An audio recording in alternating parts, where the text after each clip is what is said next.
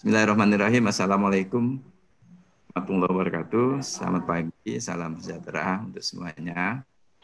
Salam Om Swastiastu, Namo Buddhaya, Salam Kebajikan. Pertama-tama saya minta maaf. Gangguan teknis saya sudah nunggu, rupanya suara saya masuk, saya nggak dengar suara orang di tempat saya. Uh, untuk kita bersyukur kehadiran Tuhan Maha Kuasa hari ini kita dapat bertemu uh, khususnya dalam hal ini dari Kementerian Kesehatan Bapak Menteri Kesehatan diwakili oleh para P2JK kemudian Ketua DJSN diwakili oleh anggota DJSN Ibu Ina dan Prof Budi terima kasih yang hadir pada pagi hari untuk narasumber uh, itu kami ingin menyampaikan sedikit saja dalam sambutan ini karena juga akan paparan. Intinya ada serial diskusi. Suaranya yang... tidak ada, Pak. Kenapa? Suaranya kenapa? Halo? Dengar nggak suaranya? Dengar kok, saya dengar, Pak. Dengar, dengar. Saya dengar, Pak, dengar suaranya. Baik, kalau gitu. Uh, jadi uh, diskusi ini uh, ada serialnya, jadi beberapa hal akan disampaikan di sini saya sebagai pengantar. Jadi selama lima minggu berturut-turut ini ada kegiatan yang dilakukan. Eh, minggu ini mengenal sistem dan tata kelola JKN. Minggu depan untuk serta yang hadir juga kami harapkan dapat bergabung. Eh, bicara tentang eh, fraud, pencegahan dan penanggulangannya. Kemudian Eh, minggu ketiga setelah ini adalah eh, webinar tentang teknologi informasi untuk pencegahan fraud dan pelayanan kesehatan. Kemudian yang keempat, good governance dalam penyelenggaraan JKN. Kemudian minggu kelima, ini bagus judulnya ini, BPJS Kesehatan yang dirindu dan digugat. Nah, ini apa nama kegiatan kerjasama antar hubungan lembaga dan kehumasan BPJS Kesehatan. Sekali lagi ini intinya adalah kita ingin semakin mensosialisasikan ke uh, masyarakat tentang uh, apa itu program JKN, khususnya hal-hal yang selama ini uh, menjadi pertanyaan masyarakat, karena banyak sekali sebetulnya yang yang mengaku ahli jaminan sosial, dan untuk itu kami perlu menyampaikan uh, fakta-fakta yang kami lakukan kerjakan selama enam setengah tahun ini. Dan untuk itu eh, tentu semuanya akan sangat tergantung dari eh, aktor-aktor yang terlibat di dalam eh, program ini karena multi stakeholders. Dan kalau kita melihat kaitannya dengan eh, tata kelola yang akan kita bahas di sini tentu nanti akan sangat menarik karena ada narasumber Bu Ine yang sangat memahami tentang tata kelola apakah kita akan bicara tata kelola dalam konteks organisasi BPJS atau tata kelola yang lebih luas lagi tata kelola program JKN. Sebagai penutup pembuka ini memang ada pepatah tidak kenal maka tak sayang oleh karena itu untuk memperkenalkan dan semakin meningkatkan pemahaman masyarakat terhadap sistem dan tata kelola program ini BPJS Kesehatan eh, menyelenggarakan webinar yang tadi saya akan sampaikan dengan tema mengenal sistem dan tata kelola program JKN. Diharapkan sekali lagi masyarakat semakin mengenal dan memahaminya semua. Sekali lagi terima kasih kepada narasumber yang hadir pada pagi hari ini. Nanti bersama-sama kita berdiskusi juga dengan para partisipan yang tentu akan banyak hal yang ditanyakan. Demikian yang dapat kami sampaikan. Semoga Allah Subhanahu wa taala Tuhan yang Maha Kuasa meridai upaya kita. Dengan resmi eh, webinar ini kami buka. Assalamualaikum warahmatullahi wabarakatuh. Waalaikumsalam warahmatullahi wabarakatuh. Baik, ini borongan nih, sambutan sekaligus narasumber. Sih makmum aja diatur oleh eh, moderator. Tapi saya pengen tahu dulu, ini komputer ini di mana ininya apa kameranya ya? Yang ini, yang ini kameranya. Baik, saya mesti lihat kamera biar biar uh, sadar kamera. Uh, tentang tata tolong share screen-nya ditampilkan. Baik, uh, izinkan kami dalam waktu 10-15 ini um, untuk yang sudah mengetahui merefresh kembali, tapi untuk yang belum mengetahui atau pernah mengetahui tapi kemudian uh, lupa gitu uh, terkait dengan tata kelola yang ada di program JKN. Slide berikut. Tolong slide.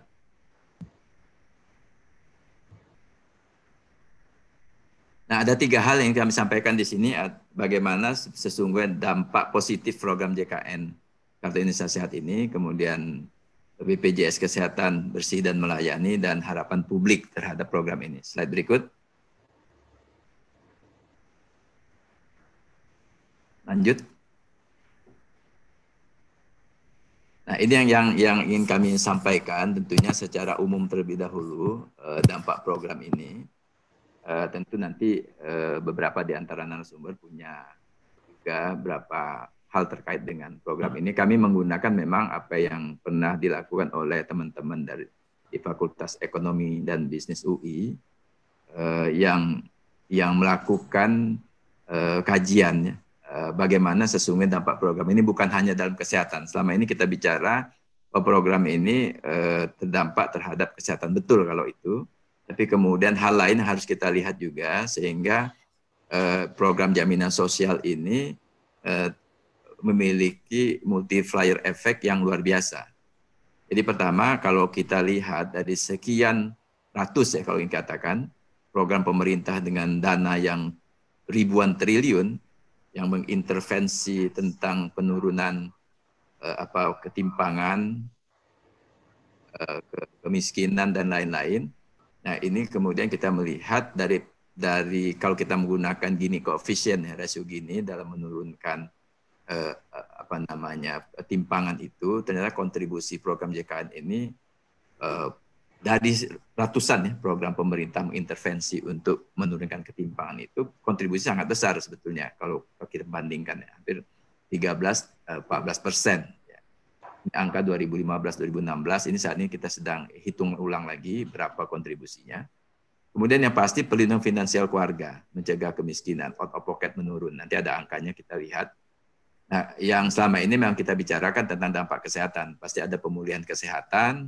Kalau kesehatan pulih, orang menjadi lebih produktif. Artinya kalau usia sekolah, dia sekolahnya, pendidikannya terus berjalan. Kalau dia produktif, usia bekerja yang bertambah sehingga uh, program ini dalam outcome kesehatan yang selalu kita uh, gunakan bahwa keberhasilan program kesehatan adalah uh, apa ada penambahan usia harapan hidup ini berkontribusi 0,31 tahun artinya uh, setiap penambahan satu persen dengan demikian kalau kita bicara human capital dalam definisi orang lahir 0 sampai 18 tahun tetap sekolah dan umurnya uh, panjang ini kontribusinya uh, sangat sangat besar. Kemudian eh, kontribusi pertumbuhan ekonomi tentu ada multiplier effect di sini eh, yang yang bisa kita lihat eh, dalam program ini yaitu eh, kaitannya dengan eh, rantai distribusi rantai distribusi berbagai komponen yang menunjang. Tentu rumah sakit salah satunya, tapi kan di belakang itu kan kita bicara tentang eh, bagaimana eh, rantai distribusi obat misalnya. Atau kemudian ada multiplier effect yang dihitung oleh teman-teman Fakultas Ekonomi itu bagaimana peningkatan energi ya eh, dihitung. Eh, artinya selama ini kapasitas rumah sakit pemanfaatan eh, energinya tidak optimal ini jadi optimal. Belum lagi kalau bicara simpel yang saya, saya sampaikan dapur rumah sakit itu kan artinya beberapa banyak telur kemudian yang direbus setiap pagi untuk untuk sarapan eh, pasien yang ini menggerakkan sektor peternakan. Kira-kira seperti itu. Next slide. Slide berikutnya tolong.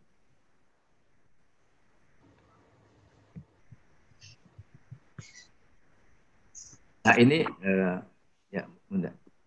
Nah ini ini ini gambar paling simpel tadi ya. Kalau kita melihat gini rasio kita itu kalau angka kita ambil saja sejak 2000, tahun 2012 itu kan 0,4 terus itu. 0,4 ini kan angka yang rawan sebetulnya. E, baru di tahun 2016 e, eh, angka psikologis 0,4-nya turun menjadi 0,39. Memang kelihatan kecil ya dari turun 0,41 menjadi 0,39. Apalagi kemudian e, di akhir tahun 2018 0,38. Misalnya 0,02 gitu ya, 0,03. Tapi dari angka 0,02 itu ternyata kontribusi program ini uh, hampir 15 persen dari semua program yang mengintervensi menurunkan ketimpangan. Karena kita ingin sekali sebetulnya kalau kita bicara tentang kesejahteraan itu kan uh, karena tidak terlalu gapnya terlalu tidak terlalu lebar ya, antara yang uh, yang miskin dan yang kaya. Sehingga uh, secara sosial ini ada research dari International Social Security Association. Kalau gini rasio ini kemudian uh, menyempit itu proksi untuk terjadinya social cohesion ya. Kohesi sosialnya semakin baik. Jadi uh, negara itu semakin uh, solid. Uh, apa namanya tidak tidak terjadi uh, kecemburuan sosial. Kemudian uh, yang bisa lihat slide-nya. Tolong slide yang nomor 5 Nah, ini kemudian kalau melihat, memang ini tidak langsung kalau diagram di atas ya, ini menggambarkan uh, tentang tadi out of pocket yang yang menurun. Uh, di sini kita lihat kalau 2013 sebelum ada program JKN kita ada poverty line itu itu kalau kita bicara uh, tentang uh, masyarakat ya yang yang baik yang di, di mendekati garis kemiskinan atau yang memang penghasilan yang tinggi ya itu kemudian uh, kalau sakit keluar uang tuh kalau lihat seperti yang turun-turun kayak janggut itu uh, ada yang jatuh sampai ke garis kemiskinan karena memang harus keluar uang banyak untuk untuk biaya berobat. Sedangkan 2016 kita lihat itu makin sedikit yang kemudian yang jatuh ke poverty line. Jadi program ini nyata memang mencegah orang jatuh miskin dan orang yang sudah miskin tidak terpuruk lebih dalam. Baik, eh, slide berikut. Baik, uh, kalau kita lihat slide berikut ini, uh, uh, bagaimana sesungguhnya dampak-dampak terjadi itu karena adanya pemanfaatan yang sangat diperlukan masyarakat. Jadi kalau kita melihat angka pemanfaatan tadi, sesungguhnya sejam yang terlambat program ini sudah melayani sekitar 40 ribu orang ya. Se Sehari itu program ini um, pemanfaatannya 765 ribu uh, orang 800 ribu di hari hari kalender itu. Kemudian eh, kalau kita lihat bicara tentang dampak ekonomi rantainya, tentu kita melihat berapa banyak fasilitas yang bekerja sama. Uh, slide berikutnya. Next. Nah, kami masuk tentang tata kelola. Memang isu publik ini adalah tentang tata kelola ini, apakah uh, tata kelola BPJS atau tata kelola JKN. Uh, kemudian uh, lanjut slide berikutnya.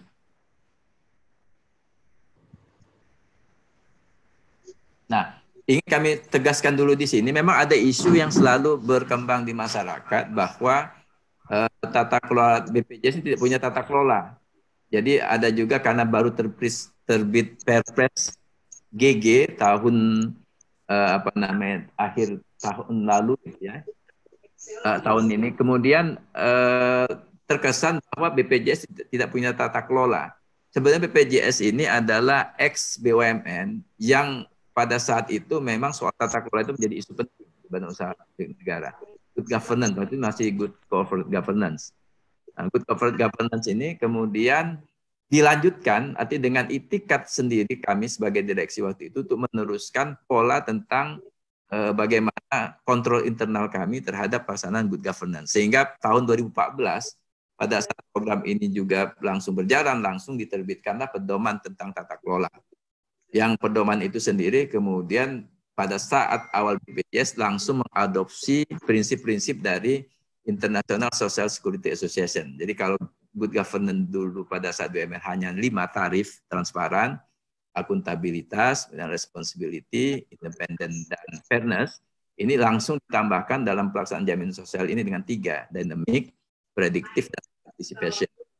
Nah, ini terus berlanjut, jadi skor GG ini diassess setiap tahun oleh pihak ketiga, dalam ini BPKP. Nah, dari ini kemudian BPJS sendiri kemudian mendorong kalau bisa untuk penguatan tentang tata kelola.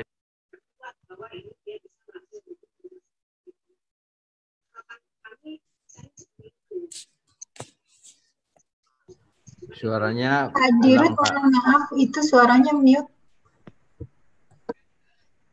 Suara Pak Dirut. Mungkin mencet mute kali Pak. Nah. Saya nggak ngapa-ngapain loh, tangan saya di sini aja nih. Jadi tertuduh saya pagi. Jadi sekali lagi soal tata kelola saya ulang kalau gitu saya takut nggak nyampe message-nya. BPJS sejak terbentuk itu komit untuk melaksanakan tata kelola yang baik. Karena apa?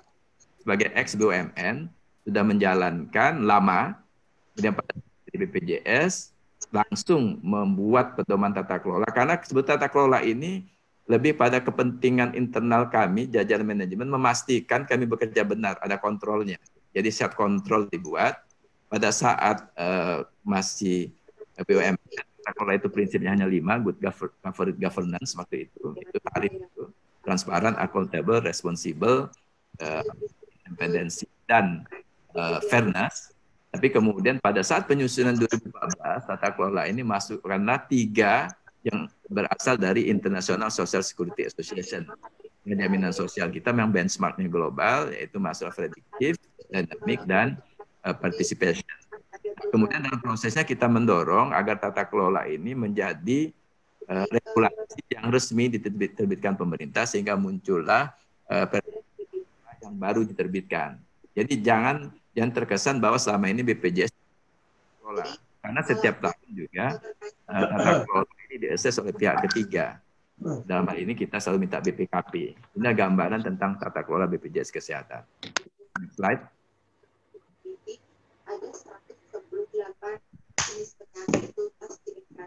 Nah, jadi kalau bicara tata bicara tata kelola BPJS Kesehatan, terakhir kita predikatnya baik dan sangat baik. Yang sangat baik itu di, di assess oleh uh, uh, BPKP.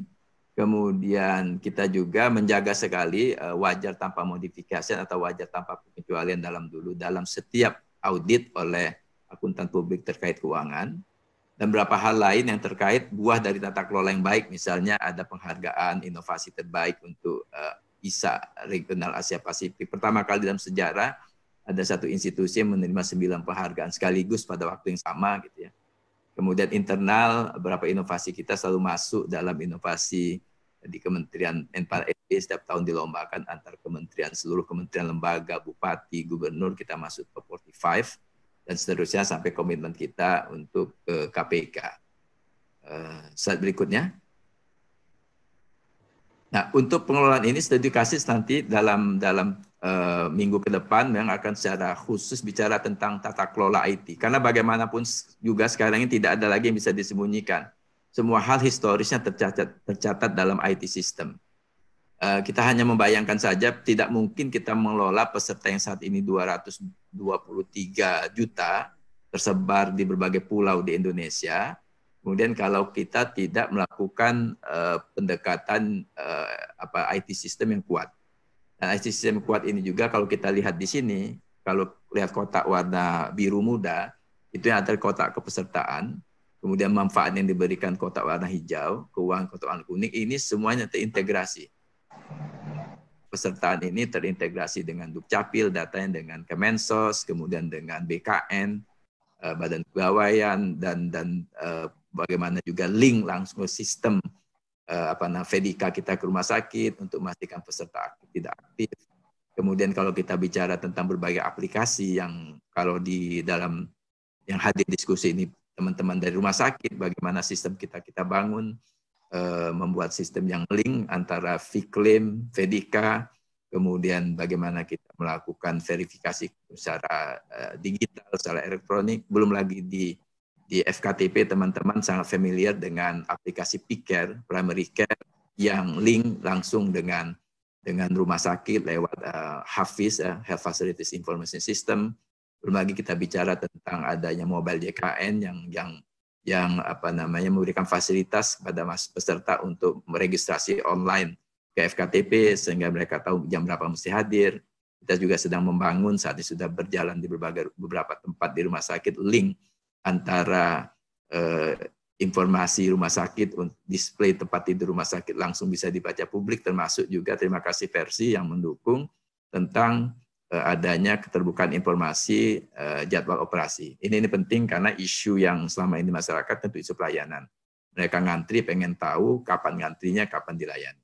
Belum lagi kalau kita bicara payment service, service tentang keuangan. Industri keuangan ini luar biasa sebetulnya. Bagaimana kita mengkonek eh, seluruh sistem dan informasi yang terkait dengan keuangan kita dengan berbagai lembaga, baik itu eh, perbank, lembaga keuangan bank maupun non bank. Uh, hampir lebih hampir sekitar 700 ribu sebenarnya titik komunikasi kita dengan berbagai provider keuangan PPOB yang yang sangat penting dalam mensupport collecting iuran kita. Slide berikut. Next.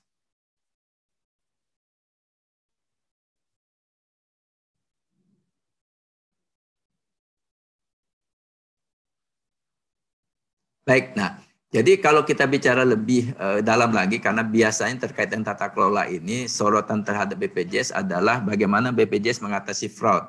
Karena isunya bahwa tidak boleh naik iuran karena sebetulnya kalau fraud diatasi iuran nggak perlu naik. Terus kami, kami kami sampaikan bahwa BPKP sekali lagi menginformasikan sudah melakukan audit tujuan tertentu atau audit investigasi full audit ya. Seluruh rumah sakit teman-teman rumah sakit pasti Waktu itu kurang nyaman juga karena ABPKP datang dan meriksa semua berkas. FKTP boleh dikatakan hampir seluruhnya ya, kecuali mungkin puskesmas yang di remote area. Semua dicek, diperiksa. Seluruh uh, peserta kepesertaan terkait dengan perusahaan yang terdaftar, yang kemudian mendaftar peserta sebagian, kemudian tidak mendaftarkan gaji dengan benar, semuanya dicek satu persatu oleh BPKP. Nah ini yang kemudian menjadi dasar sehingga pemerintah firm kuat pada kesimpulan akhir bahwa ternyata kalaupun semua yang ditemukan BPKP itu dinolkan, misalnya ada fraud, fraudnya kurang dari satu persen sebenarnya ditemukan oleh BPKP. Kalaupun fraud ini buat 0 persen, walaupun itu tidak mungkin. Kemudian kalaupun semua ketentuan regulasi diikuti, salah satu isu adalah kelas rumah sakit yang tidak sesuai dengan standar, harusnya kelasnya kelas C tapi dibuat kelas B oleh beberapa pemerintah daerah setempat.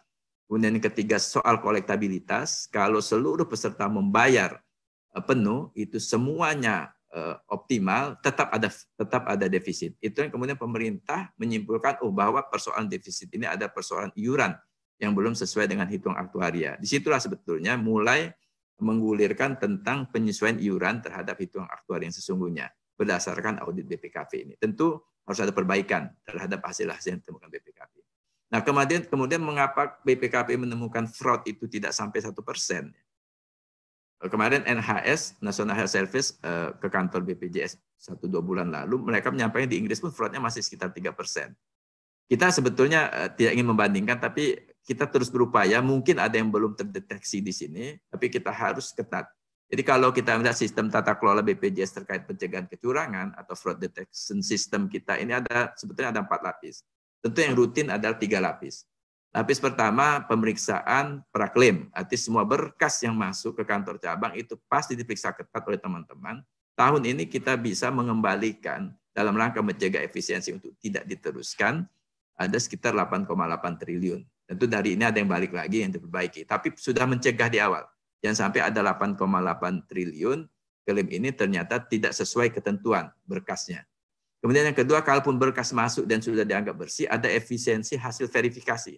Jadi kita ada verifikasi digital klaim, ada logik yang kemudian ada rule-nya, ada filtrasinya. Terima kasih Bu eh, Yani ya, sama-sama terus menyusun memperbaharui logik logik ini sehingga mana yang potensi upcoding, mana potensi-potensi yang eh, dalam coding sistemnya tidak sesuai itu langsung mental berdasarkan eh, logik-logik yang dibangun oleh uh, apa namanya electronic system ini.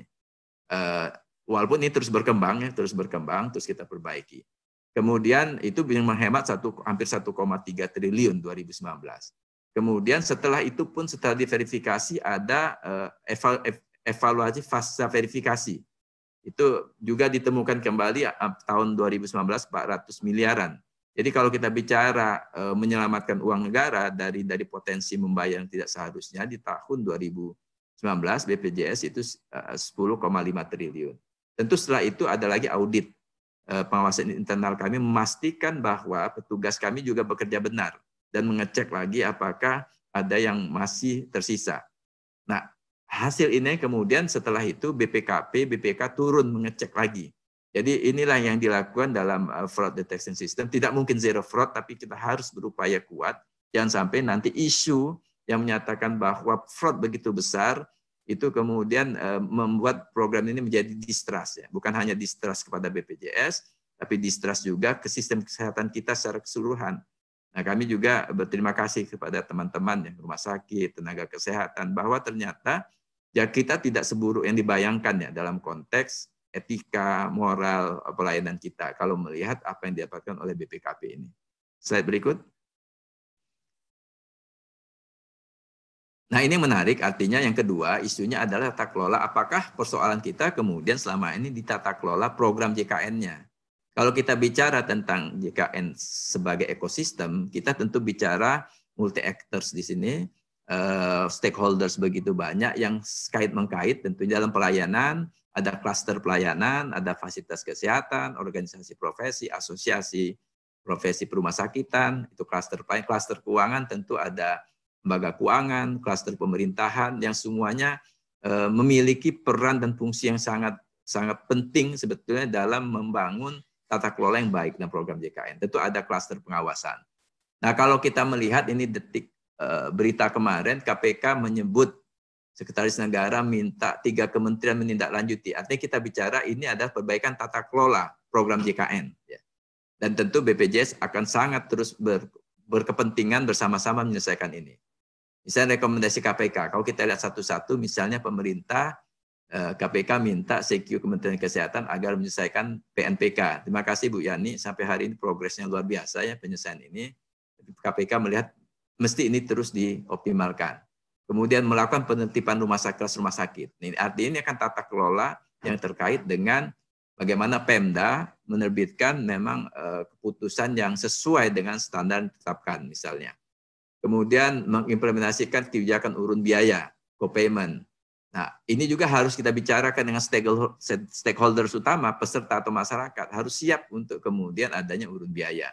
Kebijakan pembatasan manfaat, atau yang kemarin kebutuhan dasar kesehatan bagaimana sebuah kebutuhan dasar kesehatan itu kemudian eh, bisa masuk dalam kriteria yang kemarin Pak Menkes sebutkan, ada enam kriteria. Kemudian bagaimana penyakit katastrofik yang dianggap menjadi salah satu beban biaya besar ini bisa kita manage dengan baik. Kemudian mengakselerasi implementasi kebijakan SUBI dengan asuransi kesehatan swasta. Dan yang terakhir juga rekomendasinya adalah terkait tunggakan iuran. KPK merekomendasikan pemerintah mengaitkan dengan kewajiban bayar iuran dengan pelayanan publik. Nah, ini wacana yang terus kita kembangkan, tapi uh, retensi resistensi publik juga sangat tinggi ya kalau kita uh, langsung menerapkan ini dengan sungguh sungguh-sungguh. Misalnya tidak dapat memperpanjang STNK, tidak bisa melakukan transaksi perbankan apabila sistem IT kami di, disambungkan dengan perbankan dan kemudian di situ muncul warning bahwa yang bersangkutan sedang perusahaan bank yang belum bayar iuran. Tapi hal-hal ini direkomendasikan uh, ke PK. Uh, slide berikut. Nah, jadi di dalam Perpres 64 yang terkait penyusunan iuran yang baru terbit kemarin dan masih ramai sampai sekarang, memang ada satu pesan khusus sebetulnya dalam Perpres itu perbaikan tata kelola sistem layanan. Jadi yang disorot itu sebetulnya tata kelola itu lebih ke arah bagaimana tata kelola JKN ini bisa kita perbaiki bersama terkait dengan memastikan kebutuhan dasar kesehatan dan rawat inap, kemudian peningkatan tata kelola jaminan kesehatan itu sendiri. BPJS sendiri akan berkomitmen terus untuk memperbaiki tata kelola internalnya. Slide berikut. Saya terakhir ini sudah hampir mendekati akhir. Terakhir, next, harapan publik. Tentu kalau kita bicara harapan publik, apa pun yang dilakukan, mau tata kelola BPJS kesehatan di assessment oleh BPKP nilainya sangat baik kemudian dari sisi audit oleh kantor akuntan publik, kemudian wajar tanpa pengecualian. Audit kinerja oleh BPK ada perbaikan, rekomendasi perbaikan dilakukan publik, itu simple sebenarnya. Kami dilayani baik, nggak ngantri, kemudian tidak dilempar-lempar dan seterusnya. Nah ini yang yang keluhan peserta yang harus kita sama-sama cari jalan keluarnya. Kami terima kasih DJSN sebagai apa eh, salah satu lembaga pengawas yang melakukan monitoring evaluasi kemarin sudah berkirim formula tentang tentang kinerja kami di 2019, kami sudah simulasi assessment. Ternyata angkanya eh, ya terima kasih cukup baik kami lebih dari yang ditarget. Ini contoh saja formula terkait dengan perspektif pelanggan ya. Jadi angkanya eh, memenuhi target, tapi kami tentu tidak akan berpuas pada soal ini. Karena continuous improvement-nya justru bagaimana dua hal yang menjadi tahun eh, tema kami tahun ini, tahun kepuasan peserta dan tahun peningkatan layanan. Seiring dengan penyesuaian iuran. Demikian dapat kami sampaikan slide berikutnya eh, terkait dengan tata kelola BPJS Kesehatan yang juga kemudian kami perlebar sedikit diskusinya dengan tata kelola JKN secara keseluruhan. Demikian mohon maaf sekali lagi atas situasi yang kurang nyaman karena persoalan teknis. Kami tutup. Assalamualaikum warahmatullahi wabarakatuh. Kami kembalikan kepada moderator. Terima kasih Pak Dirut atas uh, presentasinya. Uh, agak molor dikit ya, mohon maaf. Jadi selanjutnya kami persilakan kepada Ibu Kalsum Komariani, Kepala Pusat Pembiayaan dan Jaminan Kesehatan. Uh, silakan Ibu, 15 menit waktunya.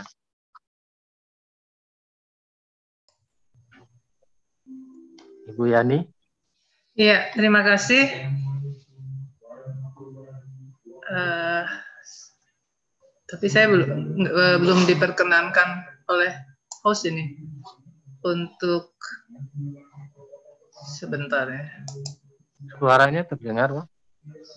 Uh, ya? Ah ya. Uh, videonya, videonya aja. Dinyala ya? Videonya di stop oleh hostnya. Oh, videonya tolong dinyalain Ibu Yani.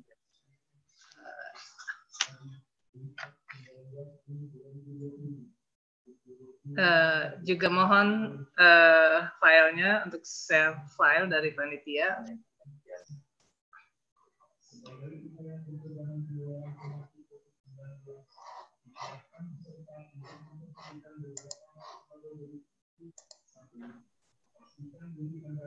Yang PPJK ya? Yang PPJK ya? Iya, iya. Ini juga sama, ini ada mungkin beberapa hari sedang trouble, jadi saya pakai uh, Oke, okay, nah, ini udah nyala Bu. Ya. Wajahnya udah kelihatan. Ya, terima kasih uh, yang terhormat Pak Dirut BPJS Kesehatan, Bu Ine dari DJSN dan Pak Prabudi dari akademisi dan Bapak Ibu semua. Assalamualaikum warahmatullahi wabarakatuh. Waalaikumsalam. Selamat pagi dan salam sejahtera untuk kita semua. Uh, melanjutkan uh, diskusi kita tentang JKN, uh, saya diberi judul uh, dimintakan untuk membawakan posisi dan peran Kemenkes dalam program JKN. Uh, pertama-tama juga mohon maaf uh, Pak Sekjen tiba-tiba uh, berhalangan ya. Ini baru kira-kira jam 8 saya dikasih tahu untuk menggantikan beliau ya. Uh, baiklah, mohon slide-nya. Next slide. Uh, tadi sudah banyak dibahas oleh Pak Dirut ya tentang program JKN. Uh, apakah slide-nya sudah bisa uh, di, dijalankan?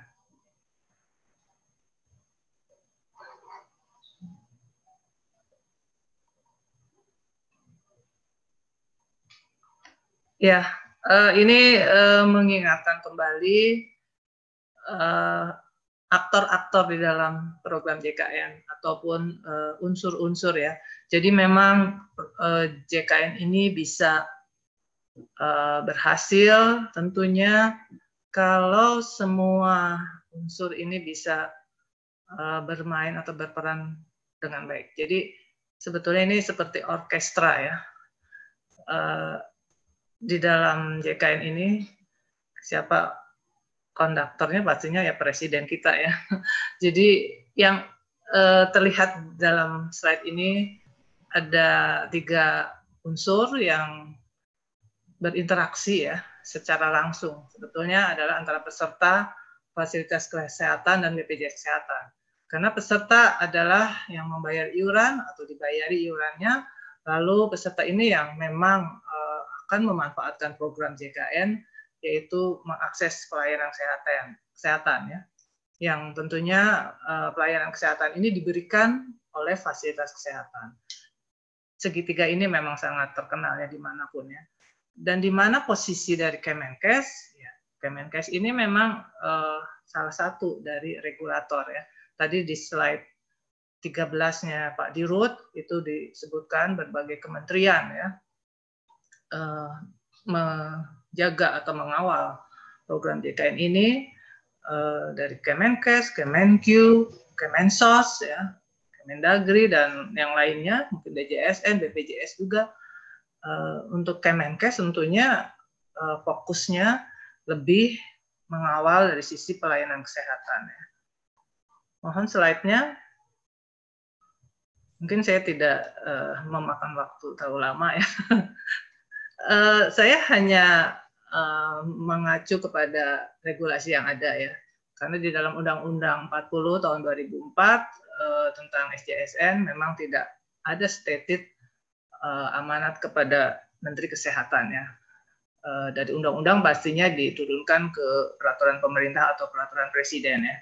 Tapi di dalam peraturan pemerintah yaitu nomor 101 tahun 2012 yang sudah direvisi satu kali menjadi PP 76 tahun 2015 ini tentang penerima bantuan iuran eh, iuran ya dalam JKN. Tugas dari Menteri Kesehatan sangat jelas uh, yaitu mendaftarkan peserta PBI ke BPJS Kesehatan, lalu uh, menganggarkan setiap tahun uh, dana iurannya dan tentunya membayarkan ya, karena uh, sudah pegang anggarannya ya harus dibayarkan. Jadi bisa terlihat ya di dalam pasal 7 dan pasal 10 ayat 2 di PP 101. Memang untuk iuran PB untuk kepesertaan PBI ini ada tiga institusi yang mengelola ya. Mulai yang pertama adalah Kemensos eh, yang melakukan eh, pendataan, updating data ya, dan menetapkan dari peserta peserta PBI. Lalu Kemenkes ini menerima data tersebut untuk didaftarkan kepada BPJS dan sekaligus membayar iurannya. Saat ini uh, jumlah PBI yang dianggarkan dan dibayari adalah 96,8 juta jiwa. Tapi setiap bulan ini akan fluktuatif uh, sesuai hasil pendataan ataupun uh, revisi updating data dari Kemensos ya. Tapi kami setiap bulan uh, juga berkoordinasi ya antara Kemensos, Kemenkes dan BPJS Kesehatan di Deputy kepesertaan ya. Memang ini uh, tidak mudah uh, mengelola data PBI uh, karena sumbernya adalah dari daerah juga ya. Nah ini bagaimana Kemensos melakukan validasi ini memang menjadi penting ya. Tetapi Kemenkes dan BPJS Kesehatan tidak uh, punya kewenangan untuk uh, mengintervensi data PBI ini. Dan sampai saat ini memang data PBI masih menjadi persoalan uh, tentang uh, validitasnya ini ya.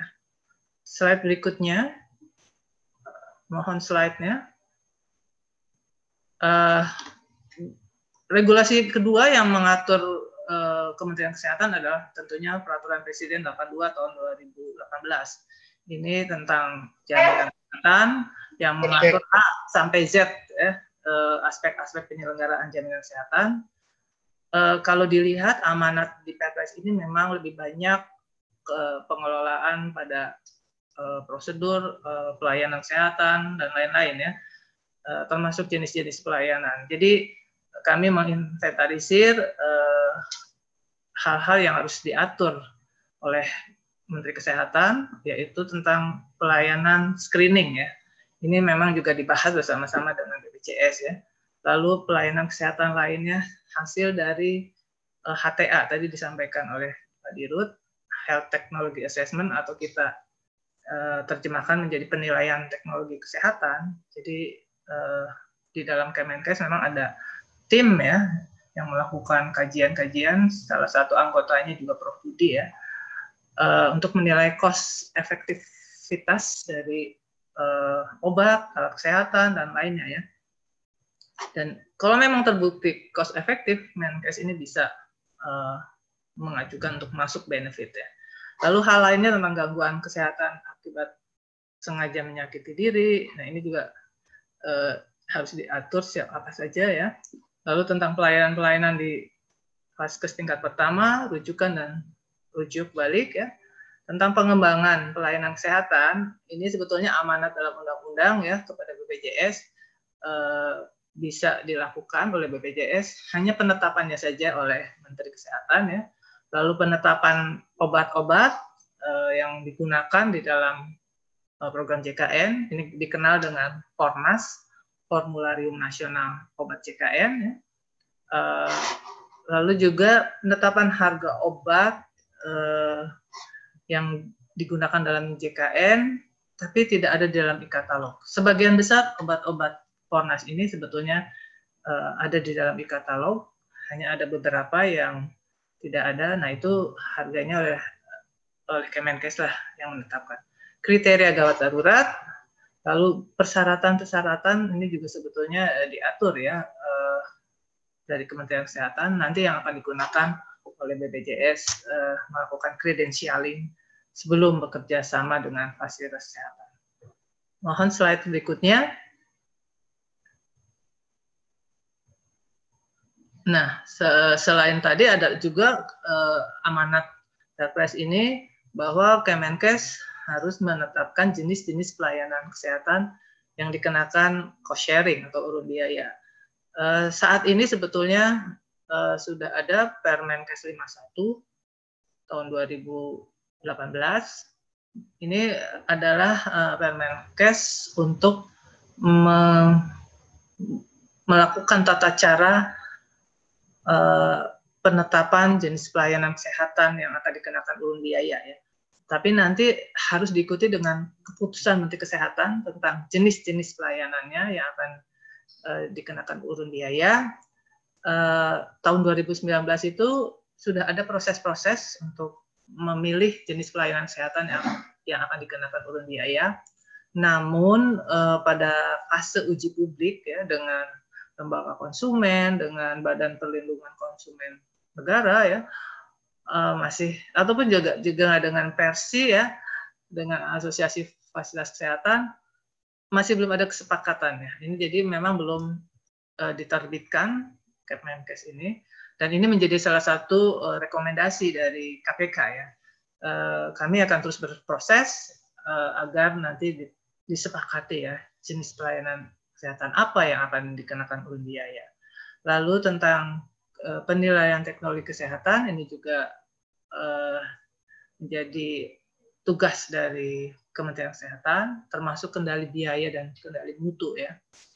Uh, yang lainnya adalah mengenai bagaimana jika ada sengketa antara peserta dengan fasilitas, antara fasilitas dengan BPJS, peserta dengan BPJS dan sebagainya, uh, di dalam uh, penyelenggaraan jaminan kesehatan ini ada namanya mekanisme pertimbangan klinis ya.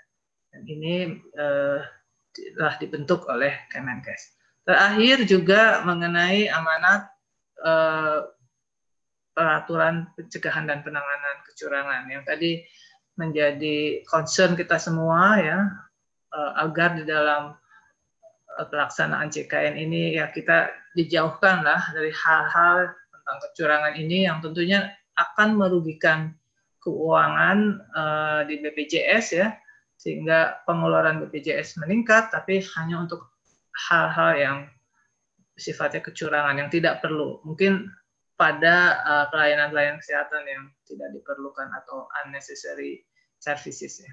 Slide berikutnya. Nah, ini hanya penjelasan. Jadi dari amanat-amanat yang ada di Perpres, uh, Kemenkes ini membentuk berbagai tim ya yang mendukung dan mengawal penyelenggaraan JKN. Ada Komite Formularium Nasional ini tentang obat atau Fornas uh, dibentuk oleh Menkes. Anggotanya tapi bukan dari kementerian saja ya. Banyak dari akademisi, praktisi dan lain-lain ya Uh, selain itu juga uh, mohon sebelumnya ada uh, Komite Penilaian Teknologi Kesehatan ini sama ya uh, anggotanya ini uh, berbagai kalangan, berbagai stakeholders. Harapannya dan juga Dewan Pertimbangan Klinis ya. Harapannya agar tim ini bisa bekerja independen ya dan ini sangat diperlukan untuk penyelenggaraan JKN. Untuk Fornas itu bekerja dua tahun sekali memperbaharui daftar obat uh, yang ada di dalam JKN. Uh, Komisi Penilaian Teknologi Teknologi Kesehatan ini juga uh, sampai saat ini sudah banyak kajian yang sudah dilakukan uh, lebih dari 10 barangkali ya. Dan hasil dari uh, kajian ini memang uh, akan diimplementasikan menjadi kebijakan yaitu uh, di dalam Fornasnya ya. Jika Komite Penilaian Teknologi Kesehatan menyatakan dari hasil studinya obat tersebut tidak cost efektif, artinya dari sisi uh, efektivitas uh, oke, okay, tapi dari sisi uh, dari sisi uh, efek klinisnya oke, okay, tapi dari sisi kajian ekonominya ternyata uh, sangat tidak uh, cost efektif ya, sehingga obat ini uh, cenderung uh, untuk direkomendasikan tidak digunakan di dalam uh, program CKN ya. Lalu untuk pertimbangan klinis juga berbagai masalah uh, kasus sudah ditangani ya. Nah, yang lainnya adalah tim tarif. Nah, ini juga uh, bekerja secara rutin untuk mengupdate uh, costing dari tarif ya. Memang sepanjang penyelenggaraan JKN baru satu kali ada perubahan uh, besaran tarif ya. Ini kembali lagi karena situasi Eh, keuangan dana DCS masih uh, belum surplus sehingga eh, pertimbangan-pertimbangan seperti itu perlu dijaga ya agar tidak menambah defisit. Tim pencegahan dan penanganan fraud ini sudah menghasilkan ya berbagai pedoman ya uh, khususnya pada Permenkes ya uh, tentang pencegahan dan penanganan fraud ini hasil kerjasama tiga institusi, Kemenkes, KPK, dan eh, BPJS Kesehatan. Lalu juga kami membentuk monitoring dan evaluasi. Slide berikutnya mungkin terakhir ya. Jadi uh, selain amanat yang ada di dalam uh, Perpres tersebut, uh, memang kami sangat concern ya untuk hal-hal uh, agar uh, penyelenggaraan JKN ini bisa berjalan optimal. Selain uh, artinya uh, kewenangan uh, mengoperasikan atau mengelola program JKN ini ada di BPJS ya.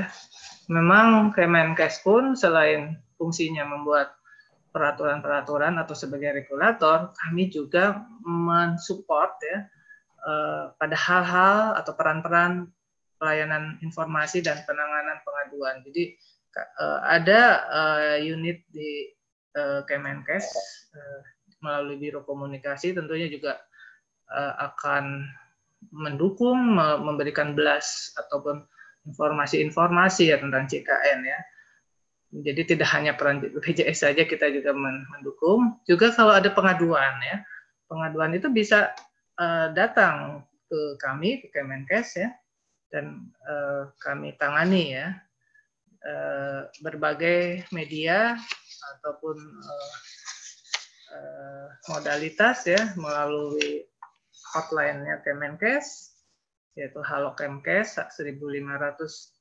567 dan nomor telepon SMS dan lainnya. Uh, ini tentunya untuk uh, bagaimana respons pemerintah ya terhadap keluhan-keluhan dari peserta ini harus ditanggapi dengan baik dan cepat. Tidak harus kita kirim ke BPJS dan sebagainya. Lalu penyelesaian uh, Dewan Pertimbangan Klinis ini juga sangat penting ya, karena tidak semua uh, layanan dalam CKN ini tentunya mulus ya pasti akan ada eh, sengketa-sengketa dan ini uh, ditangani melalui mekanisme pertimbangan klinis yang sebetulnya di setiap untuk tim pertimbangan klinis ini terdiri dari profesi ya, dari ID dan dinas kesehatannya.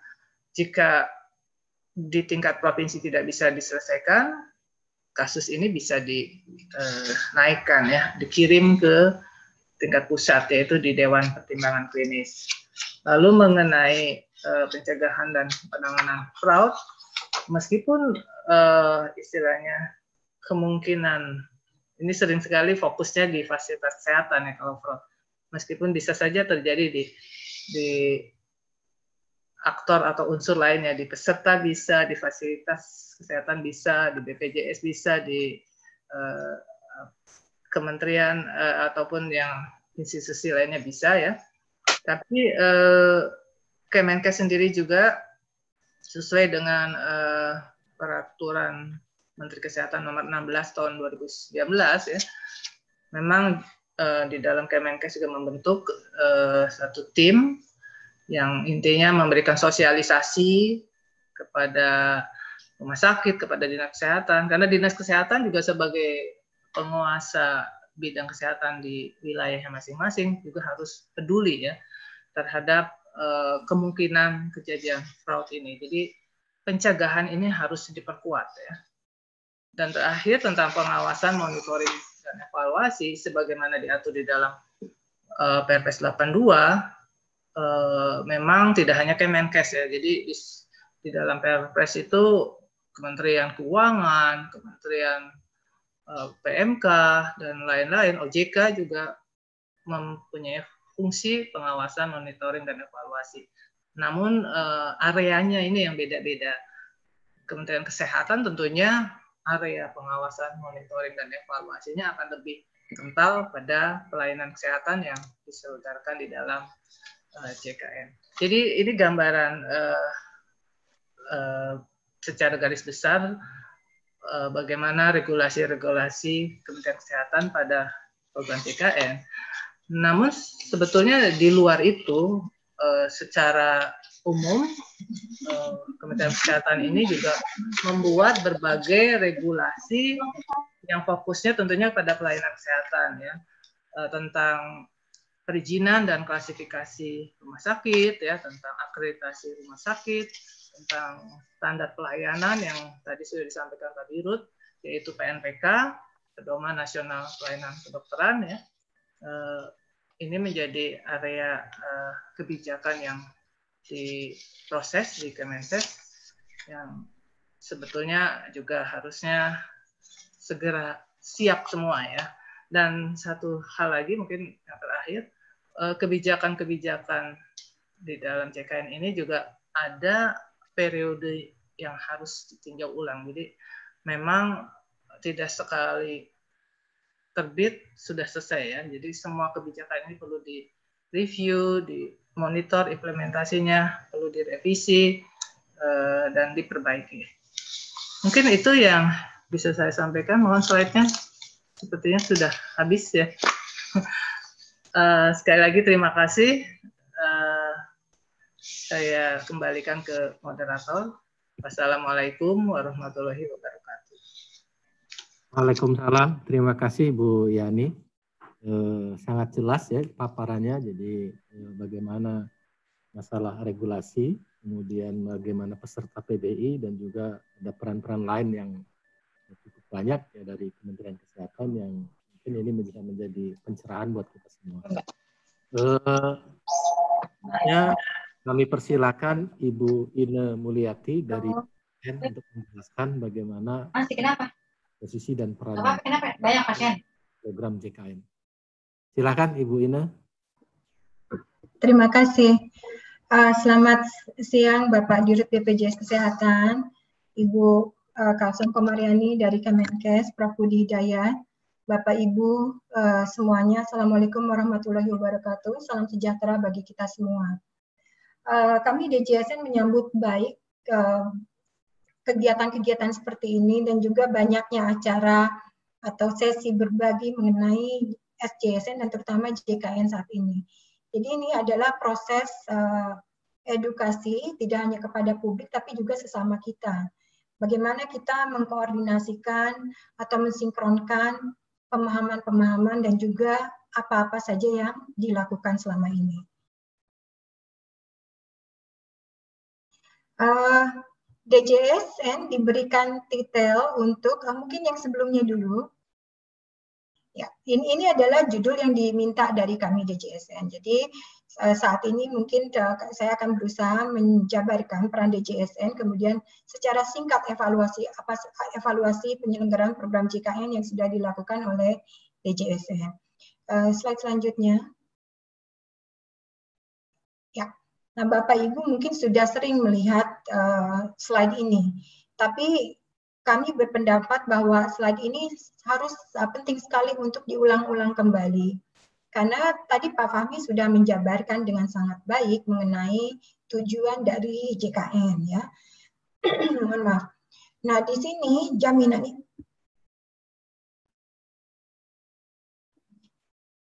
Nah, di sini jaminan ini berdasarkan uh, penjelasan umum Undang-Undang 40 bahwa jaminan sosial nasional itu untuk memenuhi kebutuhan dasar hidup yang layak bagi setiap peserta apabila terjadi hal-hal yang dapat mengakibatkan hilang atau berkurangnya pendapatan, baik karena sakit atau kecelakaan kerja, usia lanjut atau meninggal dunia. Kalau kita bicara konteks eh, JKM berarti kan karena menderita sakit. Nah, ini pernyataan ini sangat luas artinya. Berarti kita berbicara kebutuhan dasar hidup yang layak seperti apa yang diperlukan atau dipastikan untuk setiap masyarakat di Indonesia. Ya, kemudian bagaimana memastikan bahwa cakupan dari jaminan ini e, bisa memitigasi hilangnya atau berkurangnya pendapatan. Nah, berarti kita bicara jaminan sosial sebagai bagian dari uh, perlindungan sosial yang lebih besar agendanya di Indonesia kita bicara juga bagaimana memposisikan jaminan sosial ini sebagai bagian daripada transformasi sosial dan ekonomi di Indonesia. Nah, kalau kita menempatkan jaminan sosial seperti itu, berarti kan kita melibatkan banyak uh, pemangku kepentingan. BPJS Kesehatan tentu saja sebagai salah satu pemangku kepentingan. Kemenkes tadi Ibu Yani sudah menyampaikan juga sebagai salah satu regulator. Jadi tujuan SJSN ini tujuan SJSN ini tidak tidak dapat dicapai kalau hanya melibatkan beberapa institusi saja, tapi harus melibatkan beberapa pemangku kepentingan yang memang berkontribusi terhadap keberhasilan dari penyelenggaraan SJSN ini. Di slide selanjutnya. Nah, ini ini juga asas dan prinsip SJSN yang perlu disampaikan berulang-ulang yang paling yang asas itu ada kemanusiaan, manfaat dan keadilan sosial bagi seluruh rakyat Indonesia. Berarti kita berbicara uh, suatu sistem di mana bisa diakses dan juga dinikmati oleh oleh semua rakyat Indonesia secara merata.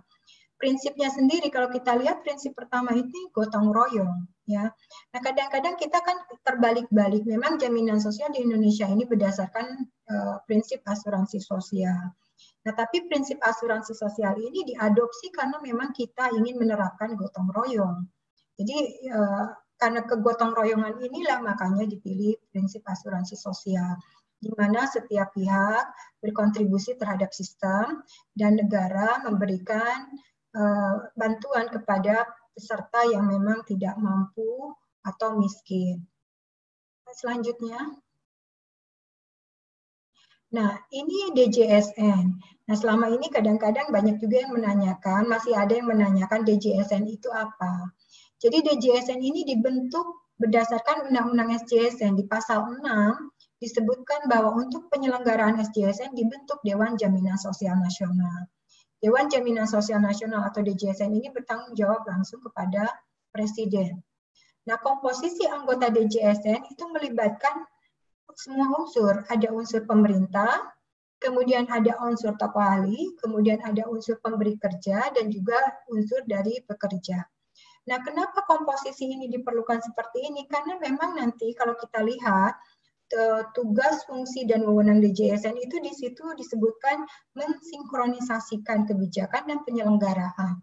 Nah, kalau kita bicara sinkronisasi, berarti kan banyak unsur yang terlibat di, di, di, di pelaksanaannya, termasuk pemerintah, pemberi kerja, pekerja, dan juga dari masyarakat. Nah, tokoh ahli ini sebetulnya untuk menjaring apa uh, aspirasi masyarakat, tapi juga menjaring apa yang terbaik yang diberikan atau diperlukan Indonesia untuk sistem jaminan sosial nasional. Eh, lima unsur pemerintah eh, untuk saat ini adalah dari Kemenko PMK, kemudian dari Kementerian Sosial, Kementerian Keuangan, Kementerian Kesehatan, dan Kementerian Tenaga Kerja. Slide selanjutnya. Nah, ini tugas fungsi wewenang DJSN berdasarkan Undang-Undang SJSN dan Undang-Undang BPJS. Jadi kalau kita lihat berdasarkan Undang-Undang SJSN, fungsinya adalah merumuskan kebijakan umum dan sinkronisasi penyelenggaraan SJSN. Sehingga waktu DJSN memotret kebijakan umum dan sinkronisasi seperti apa yang diperlukan di Indonesia, terutama untuk SJSN, dalam hal ini JKN, kita tidak hanya memotret dari perspektif regulasi saja, karena kita bicara sinkronisasi penyelenggaraan. Ya, kalau penyelenggaraan itu kan berarti kita bicara dari ada perspektif regulasinya, kemudian uh, institusinya, kemudian juga ada aspek operasionalnya, teknisnya, kemudian sumber dayanya. Itu yang dilakukan oleh DJSN. Jadi tidak hanya memotret regulasi apa saja yang sudah ada atau regulasi apa saja yang diperlukan, tapi kami juga memotret secara keseluruhan dari awal sampai ujung desain dan penyelenggaraan JKN.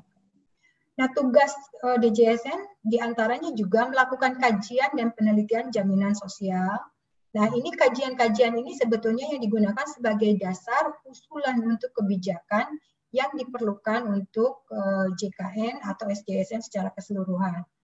Kemudian kami juga uh, mengusulkan kebijakan investasi dana jaminan sosial, mengusulkan anggaran jaminan sosial bagi PBI dan anggaran operasional uh, BPJS, dan wewenang kami adalah melakukan monitoring dan evaluasi penyelenggaraan jaminan sosial. Di Undang-Undang 24 atau 24 eh, 2011 atau Undang-Undang BPJS eh, ditekankan kembali bahwa DJSN sebagai pengawas eksternal eh, dapat melakukan monif ya monitoring dan evaluasi. Dan kami juga menyampaikan hasil monitoring dan evaluasi SJSN setiap enam bulan, menerima laporan pengelolaan program dan keuangan, dan juga memberikan konsultasi kepada BPJS. Jadi sekali lagi, dari tugas uh, fungsi, fungsi tugas dan wewenang DJSN eh, di berdasarkan Undang-Undang SJSN dan Undang-Undang BPJS ini sudah jelas sekali bahwa uh, peran DJSN ini sangat luas. Jadi tidak hanya dalam Eh, regulasi, tapi juga seperti yang saya sampaikan tadi, regulasi, operasional, teknis, eh, kemudian SDM-nya, dan keuangan. Kita potret seperti apa, kemudian kira-kira kebijakannya seperti apa, kemudian kami juga melakukan koordinasi. Karena kalau kita bicara sinkronisasi berarti kan perlu koordinasi. Oleh karena itu, selama ini DJSN juga melakukan koordinasi lintas sektor. Jadi tidak hanya lintas institusi kementerian lembaga, tapi kami juga ber, ber, uh, berkoordinasi dengan katakanlah asosiasi-asosiasi profesi terkait untuk pelaksanaan JKN dalam uh, pembicaraan hari ini ya. Uh, selanjutnya, nah ini uh, ini juga tugas dan wewenang DJSN sesuai peraturan pelaksanaan Undang-Undang SJSN dan Undang BPJS. Dasar hukumnya di sebelah kanan ada PP 84, kemudian PP 46, ada PRDJSN. Tapi secara garis besar Eh, kategori aspek-aspek yang dikategorikan dalam peraturan pelaksanaan itu menyangkut kepada kelembagaan, tata kelola, pelayanan dan kepuasan peserta dan keuangan. Itu juga hal-hal yang DJSN potret dan eh, monitoring dan evaluasi eh, dari sejak JKN dilaksanakan di tahun 2014. Selanjutnya, Nah ini uh, proses monitoring dan evaluasi DJSN ini secara singkat aja di apa kami saji, berusaha menyajikan dengan lebih mudah. Jadi ada beberapa pemangku kepentingan, kita juga ada RDP, DJSN selalu hadir di RDP dan memang diundang sebagai salah satu pemangku kepentingan. Kami juga menerima pengaduan keluar dan selain itu kami juga tentu mendapatkan laporan bulanan, triwulan, semester dan tahunan dari BPJS kami lakukan koordinasi dengan kementerian, lembaga, dan juga pengawas eksternal lain ya dalam hal ini OJK. Kami lakukan review bersama, melakukan analisa, dari hasilnya hasil analisa dan aduan itu kami juga melakukan pemantauan langsung. Karena kami juga ke lapangan untuk mengkonfirmasi laporan tersebut. Setelah itu kami laporkan dalam bentuk laporan MONEF sendiri. Ya. Nah ini ini yang akan kami jadikan dasar juga untuk Eh, menilai kinerja dan memutuskan menetapkan indikator eh, kinerja BPJS baik kesehatan maupun ketenaga kerjaan. Selanjutnya. Nah, ini eh, kami ingin memberikan gambaran saja. Mohon maaf ini datanya masih sampai April 2020, sebetulnya sudah ada data terbaru.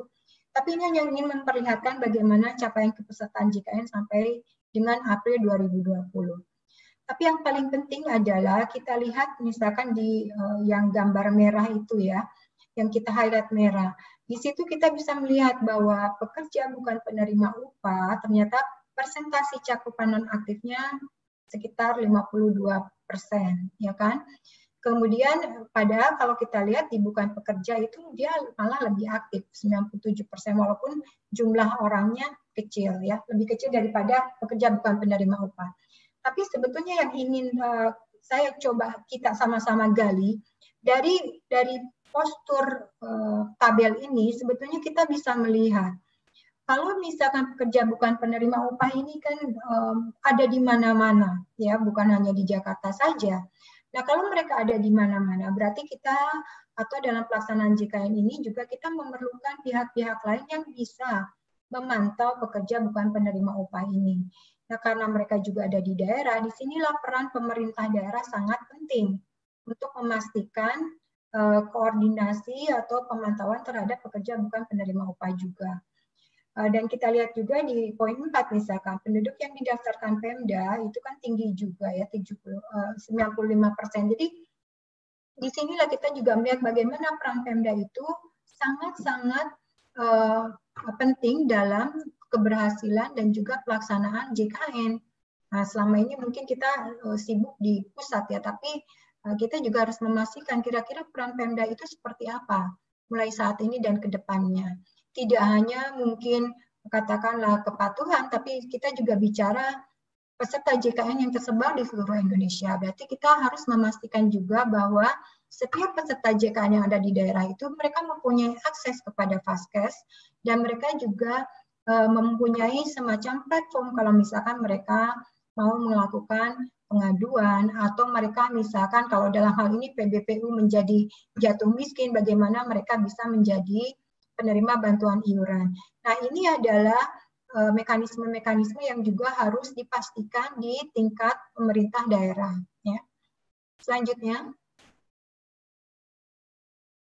Nah, ini um, perkembangan kepesertaan JKN ini juga hanya memperlihatkan saja bagaimana ternyata komposisi kepesertaan JKN itu sebetulnya banyak sekali yang uh, iurannya dibayarkan oleh pemerintah. Jadi pemerintah itu mengeluarkan anggaran yang sangat besar untuk memastikan bahwa masyarakat itu mempunyai akses kepada jaminan kesehatan nasional. Jadi kalau selama ini mungkin uh, banyak di media yang mengatakan pemerintah tidak uh, tidak apa peduli kepada masyarakat sebetulnya itu tidak benar. Dari potret ini juga kita sudah melihat bagaimana peran pemerintah sangat besar dan sangat peduli kepada kesehatan masyarakat ya. Selanjutnya uh, selanjutnya mohon. Ya. Nah, ini pendapatan iuran BPJS Kesehatan sampai dengan April 2020. Uh, ini mungkin hanya gambaran saja. Jadi dari perhitungan analisa kami sampai dengan April 2020 itu tercapai sekitar 34 persen daripada target yang diharapkan di tahun 2020. Tapi dengan adanya uh, COVID ini, uh, kita juga harus melihat lagi bagaimana postur selanjutnya. Uh, slide berikutnya. Uh, ini pembayaran manfaat. Jadi kalau kita bandingkan dengan yang tadi, dengan iuran, dengan manfaat, kita bisa melihat bahwa memang uh, pembayaran manfaat atau pembayaran untuk klaim itu jauh lebih besar daripada iuran yang diperoleh oleh BPJS Kesehatan. Yang kita lihat juga di sini bagaimana postur uh, antara rawat jalan atau rawat inap tingkat pertama dengan tingkat lanjutan itu sangat berbeda jauh ya. Jadi mungkin ini juga salah satu uh, hal yang memang termasuk dalam perubahan sistemik yang perlu diperbaiki ke depannya. Uh, selanjutnya, Nah, ini yang tadi klaim ratio, jadi kami hanya ingin menunjukkan saja bagaimana pendapatan iuran dengan biaya manfaat. Ternyata klaim rasionya waktu di uh, April itu sekitar 81,73 persen ya. Jadi kalau kita melihat trennya di Januari, Februari, Maret, dan April bahwa tren pendapatan iuran uh, dengan biaya manfaat oh ini kayaknya terbalik ini harusnya. Ini terbalik, uh, mohon maaf ini harusnya yang pendapatan uh, iurannya lebih kecil daripada uh, biaya manfaatnya. Selanjutnya, Nah, ini yang kami potret. Jadi tantangan penyelenggaraan JKN ini kita lihat bahwa ternyata memang regulasi pertama ya regulasi kadang-kadang mungkin uh, banyak regulasi tapi belum terlalu terkait satu sama lain. Tadi Ibu Yani sudah menyampaikan bahwa ternyata di regulasi itu juga ada beberapa regulasi lain memang yang diperlukan. Nah di sinilah DJSN berusaha melakukan eh, berusaha dan juga sudah melakukan sinkronisasi. Kira-kira regulasi ini perlu dikaitkannya dengan yang mana? Kira-kira regulasi mana yang ada sedikit, sedikit tumpang tindih? Kira-kira regulasi mana yang ternyata tidak inline dengan katakanlah uh, uh, regulasi di atasnya. Itu yang DJSN sudah coba potret dan kita juga sudah melakukan analisa dan juga memberikan rekomendasi uh, apa saja yang diperlukan untuk pembenahan regulasi ini. Uh, yang kedua dari perspektif ekonomi ya kita kembali lagi lihat lagi sebetulnya ini ter ter terkait dengan di uh, bulatan di sebelah kirinya desentralisasi. Kenapa desentralisasi uh, di kita agak highlight karena kan di Indonesia memang sudah ada desentralisasi di mana pemerintah pusat juga mempunyai limitasi terhadap uh, pemerintah daerah ya. Walaupun di beberapa aspek pemerintah pusat masih punya peran yang sangat besar. Tapi desentralisasi ini kita tidak bisa mengabaikan begitu saja karena ini adalah uh, faktor penting di mana pelaksanaan JKN ini perlu memang didukung oleh pemerintah daerah jadi mungkin selama ini uh, kita tidak terlalu fokus dengan bagaimana peran pemerintah daerah, tapi perjalanan selama enam tahun pelaksanaan JKN itu membuktikan bahwa peran pemerintah daerah itu perlu ditingkatkan dalam penyelenggaraan JKN. Karena kuncinya sebetulnya ada di, uh, di tingkat daerah nantinya. Tidak hanya kepada bagaimana cakupan pesertanya, tapi kita juga bicara bagaimana penyediaan sarana dan prasarana di daerah sehingga tujuan penyelenggaraan JKN ini bisa tercapai, di mana masyarakat bisa mendapatkan akses kepada fasilitas kesehatan dan juga kesehatan apabila mereka memerlukan. Ya. Kemudian tantangan yang ketiga demografi. Penduduk kita memang menua walaupun tidak terlalu secepat dengan negara lain seperti Singapura, Korea. Tapi penduduk kita menua. Dengan penduduknya menua berarti biasanya tingkat kesehatan itu akan sedikit menurun sehingga nanti mungkin akan uh, ber, uh, menambah juga uh, dampak kepada bagaimana pembiayaan dan juga desain kesehatan yang diperlukan ke depannya. Kemudian milenial kita mungkin uh, masih uh, kurang uh, ke pemahamannya mengenai uh, jaminan kesehatan nasional. Nah, di sinilah uh, fungsi sosialisasi edukasi juga diperlukan karena kembali kita itu menyiapkan sistem jaminan kesehatan nasional bukan hanya saat ini saja, tapi sistem jaminan kesehatan nasional yang akan uh, sustain uh, untuk jangka panjang. Oleh karena itu, proses edukasi dan sosialisasi kepada generasi yang muda juga perlu dilakukan, sehingga mereka sudah mempunyai kesadaran uh, mengenai pentingnya jaminan kesehatan nasional ini mulai dari saat ini ya. Dan itu adalah proses yang sangat uh, sangat umum dilakukan di beberapa negara lain juga. Ini bagian daripada bagaimana mengubah cara pikir dan uh, pola hidup masyarakat termasuk di Indonesia. Nah, yang paling penting lagi informal sektor atau kalau kita kita bicara pekerja bukan penerima upah ya atau secara garis besar informal informal sektor di kita porsinya masih sangat besar tenaga kerja di Indonesia ya kan sekitar 60% lebih. Nah, bagaimana dengan dengan karakteristik pekerja yang seperti ini eh, kalau misalkan mereka masuk ke program JKN dengan aturan seperti yang ada saat ini apakah memang masih cocok ataukah perlu kita lakukan uh, review atau kaji ulang kembali. Yang keempat, keseimbangan tujuan sosial dan kemampuan untuk kemauan untuk pendanaan sistem. Ini sebetulnya terkait dengan frasa di mana di undang-undang itu disebutkan tadi jaminan kesehatan dan juga asuransi sosial. Ini kan agak yang berbeda karena asuransi sosial itu berdasarkan berbasis resiko sehingga nanti hitung-hitungannya juga berbeda. Dan bagaimana kita juga menyeimbangkan tujuan untuk memberikan uh, akses kepada masyarakat dan juga mengenai kesehatan sehingga mereka dapat terhindar dari katakanlah kehilangan pendapatan kalau mereka jatuh sakit.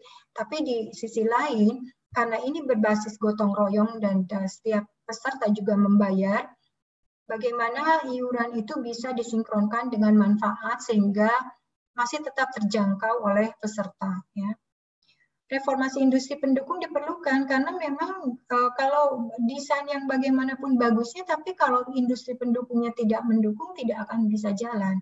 Nah, sehingga tadi uh, Pak Dirut sudah memetakan tuh tata kelola ekosistem JKN. Jadi itu juga yang memang harus disiapkan untuk penyelenggaraan JKN atau sebetulnya mungkin sudah disiapkan tapi perlu dibenahi. Dan dan dan kita perlu ingat bahwa jaminan kesehatan nasional ini bukannya satu kali didesain kemudian selesai, tapi mungkin ini nanti akan tetap berevolusi, beradaptasi dengan kebutuhan masyarakat Indonesia. Sehingga kalau kita lihat eh, peraturan-peraturan yang ada saat ini, eh, akan dilakukan peninjauan-peninjauan ulang termasuk untuk perspektif keuangannya ya. Uh, kemudian yang ke, yang di sebelah kiri keuangan investasi manajemen risiko. Nah ini adalah bagian daripada tata kelola BP, BPJS kesehatan yang juga nanti harus diterapkan GRC. Tadi uh, Pak Dirut juga sempat menyampaikan nih, apakah kita bicara tata kelola BPJS atau tata kelola JKN? Nah, kalau untuk tentang untuk penyelenggaraan JKN itu yang perlu didesain pertama kali adalah tata kelola jaminan kesehatan nasional. Tentu saja tata kelola BPJS Kesehatan itu juga tetap harus ada, tapi itu merupakan subset daripada uh, merupakan bagian dari tata kelola jaminan kesehatan nasional. Karena seperti yang tadi kita sudah sampaikan, banyak sekali ternyata pemangku kepentingan yang berkontribusi terhadap keberhasilan pelaksanaan JKN ini. Oleh karenanya, yang perlu kita pastikan sekarang adalah tata kelola jaminan kesehatan nasionalnya sendiri. Kita mulai potret dari perspektif regulasi, operasional, institusional, teknis, dan kemudian juga SDM-nya. Um, ya, slide selanjutnya. Nah, uh, khusus untuk yang JKN, jadi ini juga uh, pengalaman dari beberapa bulan belakangan.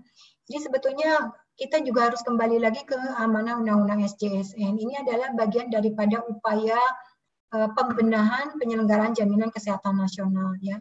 Jadi amanah Undang-Undang SJSN di pasal 19 itu disebutkan jaminan kesehatan berdasarkan prinsip asuransi sosial.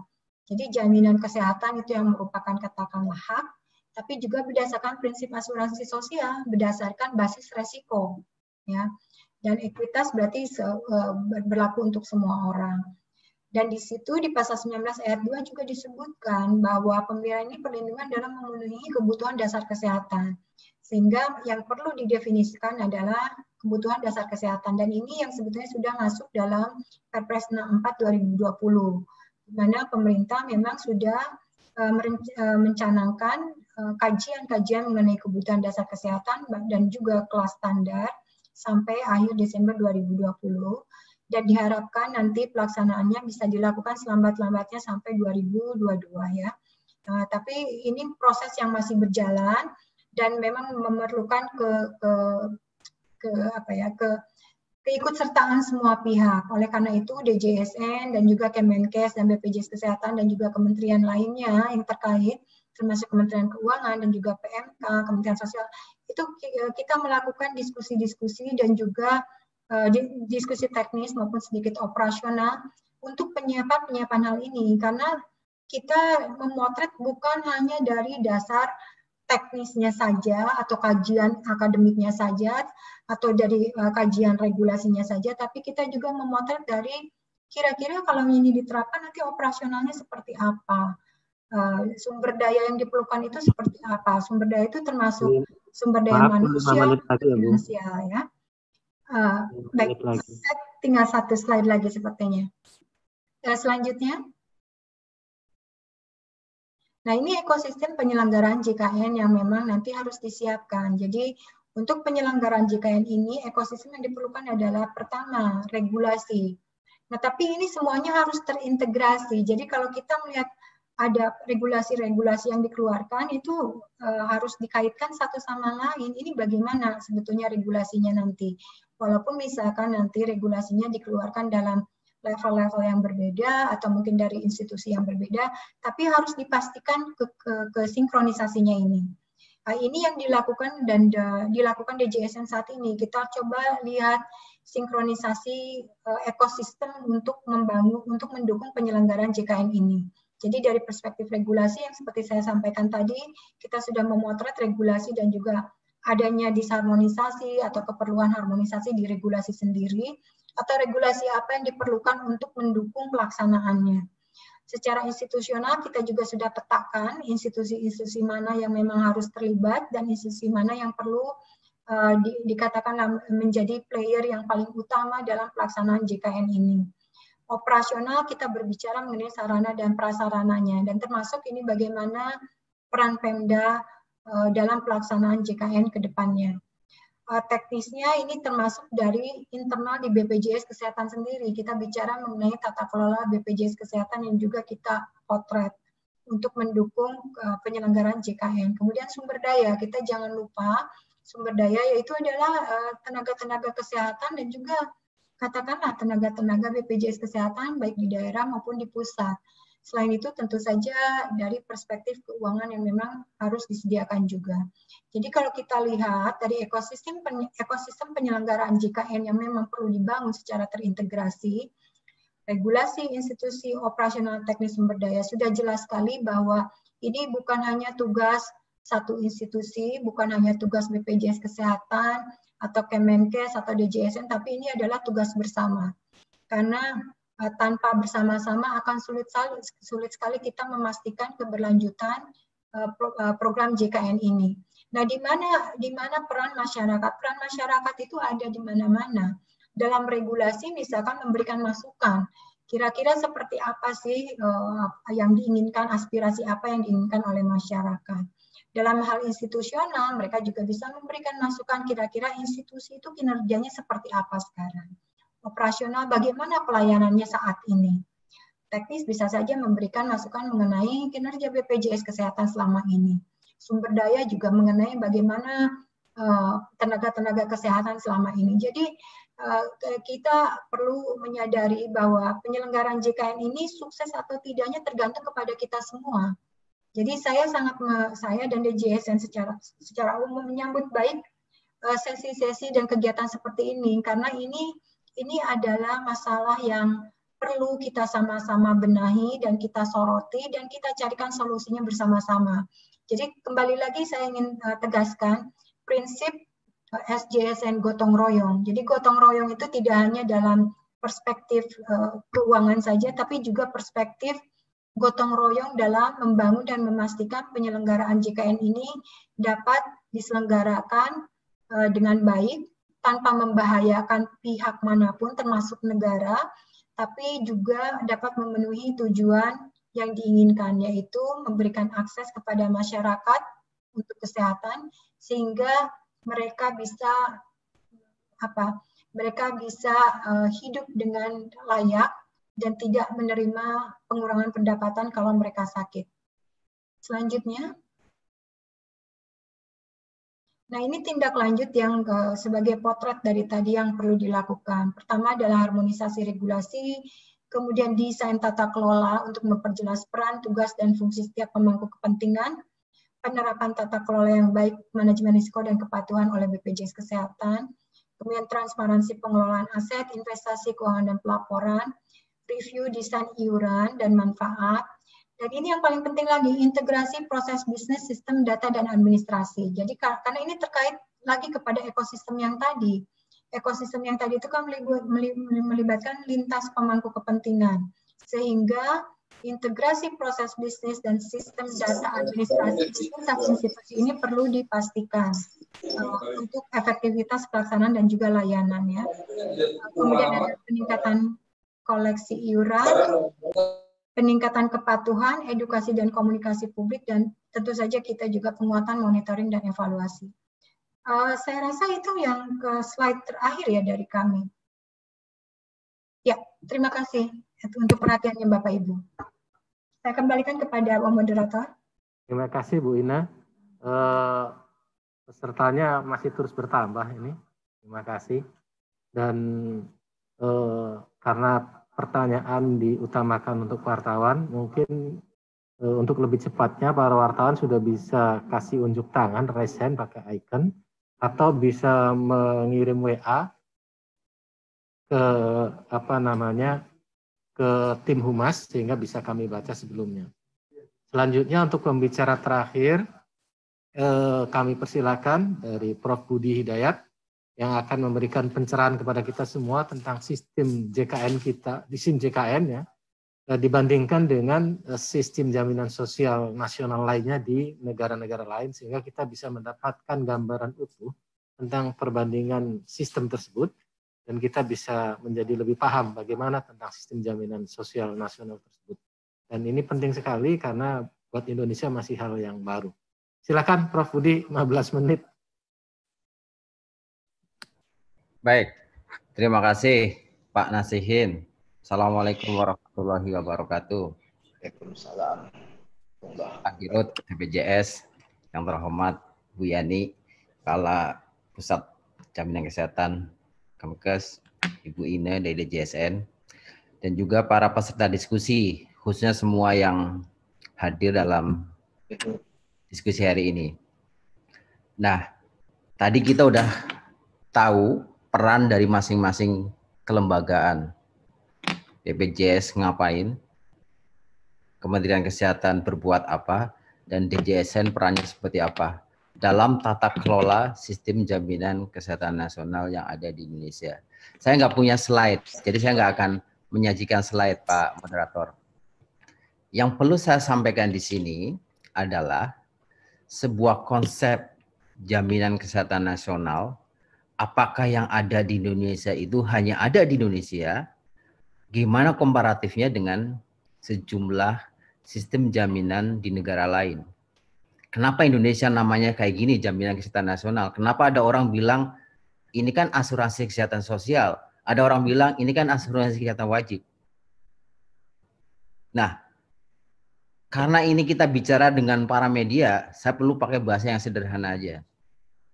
Saya perlu bicara yang nggak pakai regulasi, nggak pakai apa. Intinya ada konsep yang keluar dari kepala.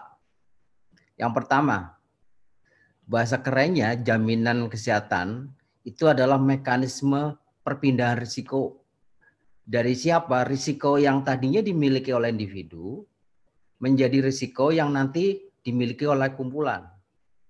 Jadi ini adalah transfer risk. Kenapa demikian? Kalau risiko itu terjadi pada diri seseorang dan itu terkena pada orang tersebut, maka itu akan bisa menjadi berat buat orang yang kena risiko dalam teori modern, maka disebut gimana manajemen risiko bisa dilakukan. Nah, salah satu manajemen risiko yang bisa kita kerjakan adalah mentransfer risiko tadi. Risiko yang tadinya hanya dimiliki oleh individu menjadi risiko yang dimiliki oleh orang lain. Nah, mekanisme transfer itulah yang dikenal dengan sistem jaminan, asuransi. Ada juga manajemen risiko nggak melalui transfer, caranya menghindar. Nah pertanyaannya, bisakah dalam konteks kesehatan risiko itu dihadapi oleh setiap manusia sejak manusia itu lahir dari rahim ibunya. Keluar di muka bumi langsung ada risiko. Dan kalau itu terjadi pada diri seseorang dan risiko itu dikendalikan sendiri, maka orang tersebut harus menanggung risiko tersebut. Nah, risiko sakit itu hadir dari mulai kita lahir sampai kita meninggal. saat ini kita bisa ikut Zoom, sehat walafiat, Alhamdulillah belum tentu besok kita bisa ngikutin seperti ini. Nah, resiko tadi sifatnya nggak pasti buat individu-individu seseorang. Tapi menjadi pasti ketika kita bicara kelompok Indonesia. Hari ini saya bisa bilang ada orang yang sakit jantung. Siapa yang kena si Fulan? Yang bersangkutan menderita.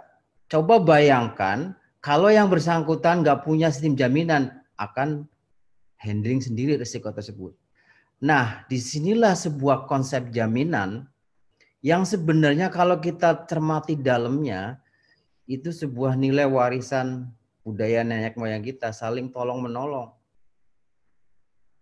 Kita nggak tahu apakah risiko itu terjadi pada diri kita atau tidak, tapi kita tahu cara mekanismenya yaitu kita transfer risiko ini supaya ada saling share.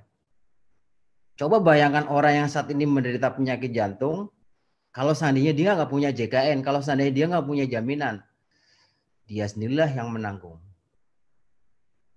Nah, inilah konsep dasar bahwa sistem jaminan adalah sebuah mekanisme bagaimana transfer risiko dari risiko yang tadi dimiliki oleh individu menjadi sebuah risiko yang dimiliki oleh kumpulan.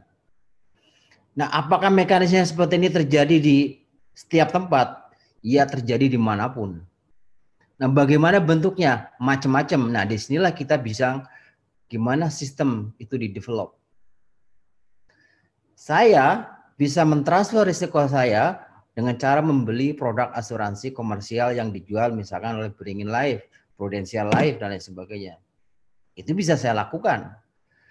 Model seperti itu namanya asuransi komersial. Yang kepersertaannya sukarela, saya mau beli atau tidak, Ya sukarela tergantung saya. Tapi ada sebuah mekanisme di mana kepesertanya itu wajib. Nah, dua dua perspektif ini maka lahirnya dua konsep sistem jaminan yang sangat mendasar, yaitu asuransi kesehatan yang sifatnya wajib, yang bahasa internasional itu disebut dengan social health insurance. Nah, kita tuh sering terjebak dengan kalimat asuransi sosial. Terminologi sosial buat otak kita ada terminologi yang sungguh nggak nyaman, barang sosial.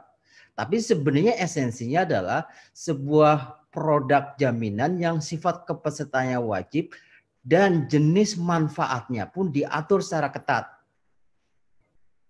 Apakah pola seperti ini ada di masing-masing negara, di setiap negara? Ya ada. Hampir di seluruh dunia ada. Cuman dominasinya mana yang mendominasikan asuransi sosial atau mana yang mendominasikan asuransi komersial. Kalau kita Indonesia mengambil sebuah pilihan yang disebut dengan SJSN, Sistem Jaminan Sosial Nasional, yang di dalamnya itu ada program jaminan kesehatan nasional yang sebenarnya itu program asuransi sosial yang sifat kepesertaannya wajib dan benefitnya itu diatur. Nah, di sini kita memberikan porsi signifikan untuk pengembangan sistem jaminan sosial nasional tersebut. Tapi tidak tertutup kemungkinan produk-produk asuransi komersial yang tadi sifatnya sukarela itu bisa di dibeli oleh penduduk Indonesia. Nah, kenapa Indonesia ngambil pola seperti ini? Bagaimana dengan negara lain? Coba kalau kita flashback. Kalau kita lihat di negara lain pun ada mekanisme seperti itu. Di Amerika, mereka lebih menjagokan produk asuransi komersial yang sifatnya sukarela. Tapi tidak menjagokan asuransi sosial yang sifatnya wajib. Apa yang terjadi dari sisi kinerja? Belanja kesehatan melembung. Status kesehatan penduduknya nggak sebaik negara yang menjagokan asuransi kesehatan sosial sebagai pilihannya.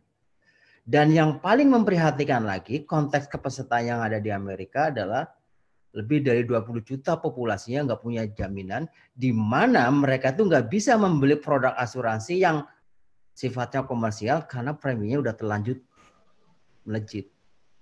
Nah, kenapa Indonesia pilih seperti ini?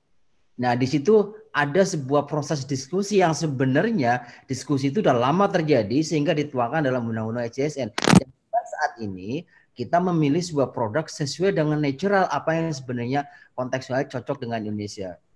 Nah, kalau kita lihat desain besar rancang bangun JKN dan dicermati oleh banyak orang di seluruh dunia, orang itu akan melihat DKN itu ibarat produksi mobil adalah mobil Mercedes. Yang sebenarnya ketika dilempar ke pasar, konsumen itu akan beli. Kenapa saya bilang mobil Mercedes? Spare partnya yang ada di situ, benefitnya dan sebagainya itu udah diakuin. Dan justru yang saat ini kiblat dunia itu sedang meniru kenapa Indonesia bisa seperti itu yang terjadi adalah kita sendiri sering mengunderestimatekan kita, kita nggak puas dengan apa yang terjadi di kita. Padahal India, India misalnya sekarang, kenapa Indonesia bisa seperti itu? Nanti Indonesia menjadi satu-satunya negara terbesar di dunia yang menerapkan sistem jaminan sosial dengan single payer-nya. Maka sekarang India pun sudah mulai bermigrasi untuk mikir seperti apa yang terjadi di Indonesia. Demikian juga dengan China. Nah, saya bicara negara-negara yang besar populasinya tadi dan mereka pun sedang bermigrasi untuk mengikuti pola seperti yang ada di kita. Nah, kalau tadi saya bilang bahwasanya JKN adalah sebuah produk yang desainnya Mercedes, cuman di sini ada sebuah masalah besar yang tadi sebenarnya sudah didiskusikan, yaitu terkait sama bahan bakarnya ketika kita bicara mobil Mercedes, bahan bakarnya mesti apa Pak Fahmi? Kalau nggak salah mesti per pertama. Kalau bahan bahannya ada premium, lama-lama rontok mesinnya. Nah ibaratnya itulah yang terjadi di kita. Kita mendesain sebuah produk sistem jaminan yang sebenarnya kelasnya kelas Mercedes, hanya saja bahan bakar utamanya itu dari bensin bersubsidi yang notabene itu kelas-kelas premium. Sehingga lama kelamaan itu rontok. Walaupun tata kelola governance yang tadi udah di set up, itu adalah untuk menjaga supaya program kita tuh nggak rontok. Nah, saya akan bicara sedikit terkait dengan pendanaan dari program ini. Kemudian saya akan masuk bagaimana best practice terkait dengan tata kelola yang terjadi di negara lain. Apakah kita anomali atau justru kita ngikutin orang atau orang ngikutin kita. Yang pertama, satu hal yang Bapak Ibu sekalian harus ketahui, kita paham nggak ada makan siang gratis di mana pun. Yang ada adalah bagaimana caranya mendapatkan makan tersebut. Sama halnya dengan kesehatan. Kesehatan di negara mana pun nggak ada yang gratis. Harus dicari mekanisme bagaimana pendanaannya. Kita jangan salah tafsir, misalkan kalau kita tinggal di Inggris enak, semuanya udah dijamin. Kalau kita tinggal di Ukraina enak, semuanya udah dijamin. Kalau kita tinggal di Jerman enak, semuanya dijamin. Gratis kesehatan. Kelihatannya seperti itu. Enggak. Yang sekarang menjadi poin kita adalah bagaimana pemerintah membuat sebuah opsi pendanaan kesehatan sehingga bisa mendanain kesehatan. Kalau di kita, sistem jaminan kesehatan nasional yang kita build up, kita mengambil opsi sumber dananya diambil dari dua sumber. Yang pertama adalah dari kontribusi atau iuran para pesertanya bagi yang mampu yang disebut dengan kelompok non penerima bantuan iuran. Nah, yang kedua diambil dari mereka yang tidak mampu, yang diambil dari APBN yang sebenarnya itu diambil dari sistem pajak. Nah, kenapa Indonesia mengambil dua opsi seperti ini? Karena pajak kita nggak desain dari awal salah satu penggunanya nanti harus digelontorkan ke sektor kesehatan untuk mendanain jaminan kesehatan yang kelasnya adalah kelas Mercedes tadi. Nah, kenapa di UK ngambil opsi mereka nggak narik iuran langsung dari peserta, tapi dibuat sebuah sistem di mana negara secara otomatis mengambil pajak semua pajak nanti ada porsi yang lari ke kesehatan sekian. Nah, seolah-olah kita nggak yang nggak tahu persis gratis, enggak, itu didanain dari apa yang udah dikontribusi oleh masyarakat melalui berbagai jenis macam pajak. Sama juga yang terjadi di Ukraina kayak gitu. Kenapa di Indonesia terjadi juga di Korea Selatan, terjadi juga di Jerman, terjadi juga di negara sebagian Eropa seperti yang ada di Indonesia. Karena rancang bangun desain teks yang kita miliki dulu-dulu yang nggak memikirkan gimana nanti kebutuhannya untuk pendanaan di sektor kesehatan. Kalau kita mutusin, oke, okay, sekarang ada masalah yang sangat kritis di kita adalah tunggakan yang selalu menumpuk di kelompok peserta bukan penerima bantuan iuran. Khususnya pekerja bukan penerima upah. Ini adalah sektor informal yang memang secara alamiah itu susah untuk memastikan komplain mereka membayar iuran. Dan ini pun terjadi di banyak negara. Dalam konteks bahwasanya kenapa kita nggak milih seperti model yang NHS atau seperti model yang Ukraina dari sisi fundingnya, infrastruktur teks kita tuh nggak kuat. Infrastruktur teks kita tuh nggak siap untuk ngambil opsi itu. Kenapa? Kita lihat tax ratio kita masih berkisar di angka kurang dari 12 persen. Padahal sumber APBN kita semuanya difunding sebagian besar diambil dari pajak. Nah, di sinilah kenapa kita ngambil opsi bahwasanya pendanaan jaminan itu bagi yang mampu mengiur sendiri yang disebut dengan kontribusi. Kalau bahasa asuransi komersial disebut dengan premium. Nah, di sini bentuk transfer risiko risiko individu mau kita transfer ke orang lain, ke kelompok, menjadi risiko kumpulan.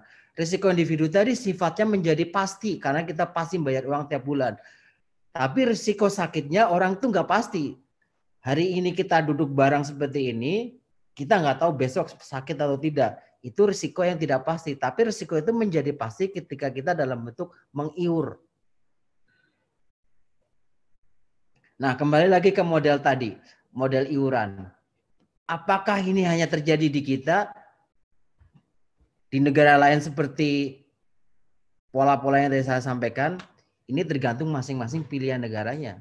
Tapi yang jelas, poin yang ingin saya sampaikan adalah untuk mendanain pelayanan kesehatan dalam bentuk jenis layanan-layanan nanti diterima oleh masyarakat, itu enggak gratis. Poinnya adalah di situ. Tapi ada mekanisme bagaimana sistem harus dibangun. Kenapa Indonesia memilih bangunan seperti ini? Karena memang inilah yang sesuai dengan kontekstual apa yang terjadi di kita. Kita tuh nggak bisa mengandalkan dari semuanya di PBI kan dengan kata yang sederhana. Oke, kenapa nggak negara nanggung? Boleh seperti itu, seperti sistem yang tadi saya sebut dua negara, tapi benahin infrastruktur teksnya. Mohon izin lima menit lagi, Pak. Lima menit lagi. Baik. Nah, itu dari sisi fundingnya. Kemudian dari sisi tata kelola yang lain, karena kita tadi bilangnya adalah mobilnya Mercedes, maka berbagai instrumen tata kelola pun di build up yang ada di situ dan itu sejalan dengan best practice yang terjadi di mana-mana. Contoh misalkan, kenapa saat ini ada tim tarif? Kenapa saat ini ada misalkan tim health technology assessment yang tadi disampaikan oleh uh, Bu Kapus? Kenapa ada regulator yang memayung ini semua. Karena JKN itu bisnis yang melibatkan banyak pelaku dan masing-masing pelaku itu memiliki konflik kepentingan, motif yang beda-beda. Kalau saya jadi peserta, pengennya saya bayar iuran yang sangat murah, tapi layanannya luxury. Kalau saya jadi provider, pengennya saya dibayar sangat mahal. Supaya apa? Kalau saya memberikan layanan, income saya naik. Kalau saya menjadi pemerintah, saya ingin bayar PBI yang murah. Tapi kita semua punya misi yang sama, yaitu gimana supaya jika itu eksis, sustain, dan bisa mencapai tujuannya. Nah, di sinilah governance-nya di set up. Contoh yang paling sederhana yang mungkin terjadi di mana-mana adalah skema pembayaran. Kita mengadopsi skema pembayaran namanya diagnostic related group. Apakah itu terjadi di Indonesia? Ini bukan hanya terjadi di Indonesia, di banyak negara yang tadi saya sebutkan, semuanya mengadopsi ini. Kenapa? Karena itu sebagai salah satu cara gimana kita ngatur spendingnya nanti.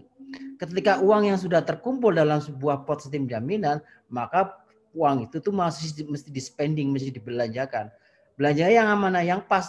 Caranya seperti apa? Atur ada mekanisme payment. Kenapa nggak fee for service saja? Kalau saya jadi dokter di rumah sakit, saya senang bayarnya adalah per diem seperti zaman dulu. Nah, itu ada sejarahnya kenapa kita masuk dari per diem menjadi RG. Itulah yang pertama kali kita lihat di Amerika di program Medicare. Ketika mereka bayar rumah sakit fee service, yang terjadi adalah dana Medicare jebol. Sehingga mereka mengadopsi DRG sebagai alat bayar. Ketika DRG dipakai sebagai alat bayar, yang terjadi adalah reduksi lama hari rawat. Nah, berita ini nyebar ke seluruh dunia. Apa yang dilakukan? Direplikasi kebijakan skema pembayaran di Asia tadi, contoh kasus misalkan Australia. Australia contoh, saya menerapkan ini. Kemudian sebagian besar negara Eropa juga menerapkan itu. Dan hinggalah masuk ke kita di Indonesia. Nah, poin yang penting adalah apakah DRG yang di-develop di sana sama dengan DRG yang ada di develop di masing-masing negara. Nah, di sinilah tadi yang tadi disampaikan oleh Bu Yani. Tim tari berupaya semaksimal mungkin gimana kita mencocokkan kontekstual DRG agar lain dengan klasifikasi penyakit yang ada di Indonesia. Karena dari asal muasalnya yang bangun klasifikasi penyakit cuma ada dua di negeri di dunia ini satu produksi developnya Yale University yang dipakai oleh Hikva Medicare. Nah, yang kedua adalah DRG-nya Rusia. DRG uh, Medicare Hikva itu yang kemudian direplikasi-replikasi menjadi Australian Refined DRG, kemudian Jerman ngadopsi uh, uh, punya DRG-nya Eropa, eh sorry, punya DRG-nya Australia, kemudian di juga dengan apa yang terjadi di negara Jerman, demikian juga dengan Denmark, demikian juga dengan negara-negara yang menerapkan hal seperti itu. Nah, Indonesia pun menuju ke sana. Kita dulu pinjam sebuah ini grouper dari negara lain yang berlaku di negara yang berkembang dengan menambahkan beberapa elemen yang cocok dengan kontekstual dan sekarang di untuk sesuai kebutuhan yang ada di Indonesia. Itu yang sedang dilakukan. Nah, sekarang yang menjadi isu besar di kita adalah governance-nya udah di setting, tata kelolanya udah diterapkan, sumber utama pendanaan tadi lama-lama Mercedes kita tuh bakalan rontok ketika bensinnya itu habis. Salah satunya misalkan gara-gara kita tuh nggak rutin bayar iuran. Nah, di sinilah ada hal penting buat kita semua harus bisa menyadarkan yang kita kerjakan adalah salah satu bentuk konkret ibadah kita di dunia. Kita mengiur, walaupun kita nggak menggunakan layanan kesehatan misalkan, itulah salah satu doa utama kita buat peserta. Jadi orang selalu mengharapkan kesehatannya, tapi kita pun selalu peduli dengan kesehatannya. Oleh karena itu, bagi mereka yang masuk ke sini wajib mengiur dan selalu berdoa jangan sakit. Tapi jangan berarti kalau saya sudah mengiur kemudian nggak pakai saya rugi, itu salah besar. Karena yang penting di sini kita adalah sebenarnya ingin membuild up sebuah solidaritas nasional. Mungkin untuk sementara Pak Moderator, demikian yang bisa saya sampaikan. Terima kasih. Assalamualaikum warahmatullahi wabarakatuh. Waalaikumsalam. Terima kasih Prof. Budi. Eh, penjelasan yang sangat gamblang, jelas. Eh, dari catatan saya ada empat penanya. Eh, pertama dari WIBI, Bisnis Indonesia. Kedua dari Tan dari Kompas, kemudian Sari Wahyuningsi, dan yang ketiga uh, Yusminita Nurhaini. Uh, silakan nanti satu persatu ya mengajukan pertanyaan singkat, padat, tapi sebelumnya sebutkan nama dan medianya serta ditujukan kepada siapa ya. Jadi kita uh, cuma satu sesi saja karena waktunya harus segera berakhir. Jadi empat penanya sekaligus, sebutkan namanya, asal medianya, dan ditujukan kepada siapa. Mulai dari Wibi dari Bisnis Indonesia. Silakan. Ya. Baik, terima kasih Pak. Selamat siang untuk Pak Fahmi dan semua uh, pembicara, Bu Ine, juga Pak Budi. Terima kasih untuk kesempatannya. Saya Wibi dari Bisnis Indonesia. Uh, pertanyaan. Tampilkan wajahnya boleh, Mas Wibi. Oh, gak lagi di kosan Pak, kurang enak. Oh, ya, mohon maaf. Ya.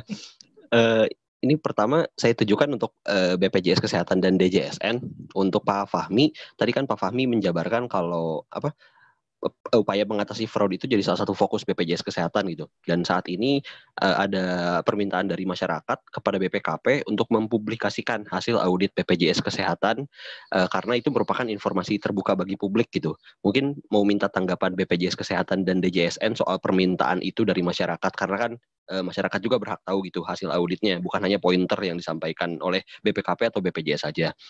Lalu yang kedua mengenai perkembangan data cleansing saat ini progresnya sudah sampai mana, lalu jumlah data yang belum terpadankan ini berapa, dan targetnya kapan untuk selesai. Itu aja mungkin, Mbak. Terima kasih banyak. Terima kasih. Selanjutnya silakan Intan dari Kompas.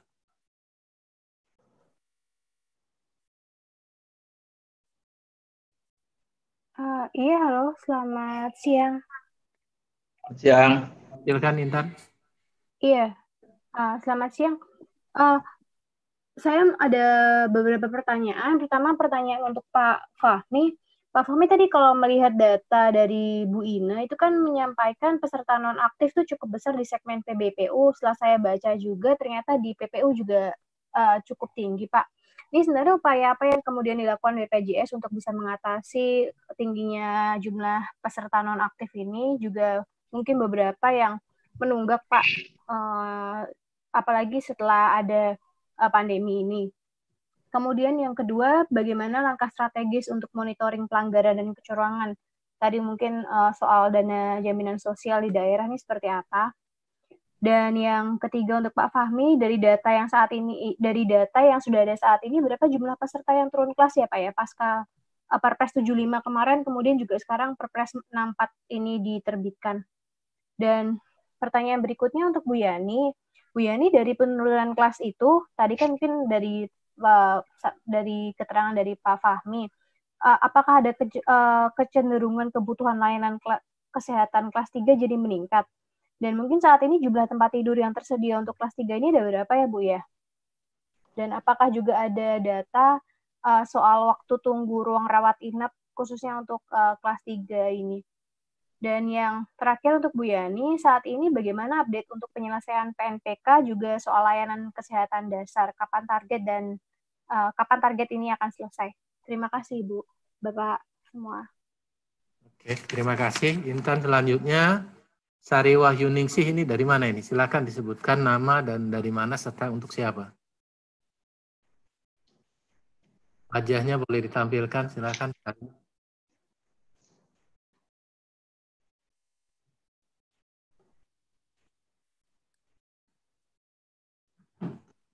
Apakah monitor? Kalau tidak ada, kita lanjutkan ke Yusminita Nurhaini ya. Dari media mana dan ditujukan ke siapa pertanyaannya? Silakan Yusminita.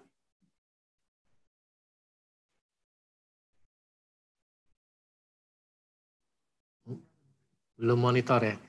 Silakan langsung aja dijawab eh, Pak Dirut silakan. Baik, terima kasih Pak Monitor, Pak Nasihin. Dari Mas Bibi ya. Sebenarnya kita pengen tahu juga tuh kos-kosannya Mas Bibi ini biar kelihatan alamiah ditampilkan tapi Mas Bibinya. Mungkin karena belum mandi aja mungkin kali, bukan karena kos-kosan. Makasih Mas Bibi ya. Uh, ya terkait dengan BPKP. Jadi kami sampaikan bahwa BPKP itu melakukan audit tujuan tertentu atau secara umum dikenal sebagai audit investigasi itu atas permintaan atau penugasan Kementerian Keuangan. Jadi BPKP melakukan tugas itu dan kemudian melaporkan kepada Kementerian Keuangan. Kami pun BPJS Kesehatan mendapat tembusan. Nah, kemudian Kementerian Keuangan minta BPJS tindak lanjut rekomendasi-rekomendasinya untuk diselesaikan di uh, area BPJS Kesehatan. Tentu ada area yang di luar BPJS Kesehatan, Kementerian Lembaga terkait. Jadi kalau ditanya apakah ini informasi terbuka atau atau tidak, saya tidak pada posisi menjawab itu. Yang pasti BPJS eh, menjadi eh, apa namanya objek pemeriksaan. Dan kami eh, dengan sangat terbuka menerima proses itu. Dan kemudian setelah dilakukan audit BPKP melaporkan sesuai dengan penugasan atau permintaan dari Menteri Keuangan. Dan BPJS dapat tembusan, selanjutnya BPJS dipanggil oleh Menteri Keuangan untuk mendengarkan hasil itu dan setelah itu untuk menindaklanjuti temuan tersebut. Itu kira-kira gambarannya. Kemudian eh, soal data cleansing, memang pada saat BPKP turun ada data-data yang eh, secara administratif harus dibenahi. Ada data peserta PBI yang tidak ada NIK-nya, tidak lengkap lah. Eh, kalaupun ada tidak lengkap apa namanya dikitnya dan seterusnya. Dan itu dari sisi BPJS sudah dikerjakan dan sudah menyampaikan final pekerjaannya November tahun lalu kepada eh, apa namanya kepada pemerintah, kepada eh, BPKP. Nah, tinggal ada keputusan yang harus diambil terhadap data yang memang secara administratif NIK-nya eh, BPJS tidak dapat melakukan lebih lanjut karena ada beberapa data yang terkait dengan misalnya di Papua, Papua Barat, yang proses cleansingnya butuh waktu lebih lama. Tapi dari sisi BPJS sudah selesai sebetulnya eh, dan sudah ada notulen dengan tim BPKP terhadap apa yang menjadi penugasan kepada BPJS. Selanjutnya yang diserahkan sepenuhnya kepada kementerian lembaga terkait. Kemudian dari Mbak Intan ya eh, terkait dengan peserta non aktif. Betul ya Mbak Intan, peserta non aktif ini kan isu yang terus menerus terjadi khususnya PBPU ya. Jadi uh, memang dalam konteks itulah DPR selalu uh, melihat dari sisi bahwa peserta PBPU eh, non aktif ini khususnya yang dominasinya di kelas 3 itu diasumsikan jangan-jangan ini mereka yang miskin tidak mampu walaupun kita tidak bisa meyakini karena perlu didata secara khusus. Namun demikian kalau kita bicara non aktif pasti kita melihat selalu dalam uh, kategori satu memang mereka not able to pay ya. Memang memang tidak mampu bayar. Tapi yang kedua bisa saja mereka memiliki ability to pay, kemampuan membayar tapi tidak ada willingness untuk membayar. Ya. Jadi kita harus pisahkan dulu mana yang memang not able to pay, mana yang tidak punya uh, keinginan membayar. Nah, ini perlu pendataan lebih lanjut karena isu tentang kemungkinan adanya uh, exclusion error ya artinya mereka-mereka yang seharusnya menjadi peserta PBI tapi tidak terdaftar itu kan selalu menjadi diskusi uh, setiap kali kita rapat dengan pendapat dengan DPR. Namun seperti disampaikan oleh uh, Bu Yani tadi dalam proses pendataan pendaftaran peserta uh, eh, PBI ya misalnya uh, kita menerima apa yang kemudian didata oleh Kemsos disampaikan ke Kementerian Kesehatan, Kementerian Kesehatan juga tidak bisa merubah data itu kemudian mendaftar ke BPJS Kesehatan. Jadi kalau pertanyaannya tentang eh, PBPU yang tinggi itu, ada kemungkinan di dalamnya kelompok yang disinyalir not able to pay. Tapi prinsipnya BPJS bekerja keras untuk uh, melakukan mengkolek iuran. Kolek, iuran kita terakhir angka cukup bagus, sebetulnya sudah di atas 60 persen. Nah, uh, caranya apa? Tadi kalau ditanyakan, uh, tentu upayanya untuk saat ini persuasif kita melakukan yang dikenal dengan telecollecting, kemudian menempatkan kader-kader JKN di kecamatan-kecamatan atau di eh, daerah-daerah yang serta menunggak yang tinggi untuk kemudian mengunjungi. Bukan debt collector ya sebagaimana diinformasikan sama ini karena kader JKN itu fungsinya tiga. Mengingatkan membayar iuran yang kedua membantu proses pelayanan kalau ada masalah menjadi channel komunikasi kami langsung di masyarakat Kemudian yang ketiga kaitannya dengan membantu kalau membutuhkan pelayanan. Itu upaya persuasif yang dilakukan. Nah, namun demikian, sebagaimana yang KPK juga sampaikan, KPK menyarankan eh, agar ada eh, upaya-upaya yang bersifat eh, penegakan sanksi kepada peserta bukan penerima upah yang sudah mendaftar, apalagi kalau kemudian mereka sebetulnya mampu hanya memanfaatkan, kemudian setelah menggunakan tidak bertanggung jawab untuk terus-menerus membayar iuran. Nah ini kalau ditanya upaya itu saat ini itu juga rekomendasi BPKP juga untuk ditindaklanjuti. Ya memang sedang disusun impres, impres untuk mengkoordinasikan antar uh, instansi pemerintah pelayanan publik sehingga nanti ini kami bayangkan ya, dibayangkan IT sistemnya menjadi satu kesatuan yang terintegrasi sehingga manakala masyarakat mendatangi satu layanan publik tertentu ya akan selalu muncul dulu notifikasi bahwa ini belum bayar iuran. Nah, tinggal apakah masuk tahapan berikutnya bahwa tidak akan dilayani atau warning dulu diberikan dalam setahun dua tahun ini ini yang sedang didiskusikan di internal pemerintah. Jadi kita juga ingin uh, masyarakat juga tidak terlalu kaget dengan sistem yang enforcement yang sangat kuat, tapi upaya untuk menuju itu sedang dilakukan. Dan ini sangat berhasil di berbagai negara sangat berhasil. Misalnya di Korea Selatan itu kira-kira uh, beberapa tahun lalu jauh lebih rendah kolektabilitasnya dengan pendekatan persuasif sekitar 25-30 persen. Sekarang sudah 90, tapi memang kuat ya.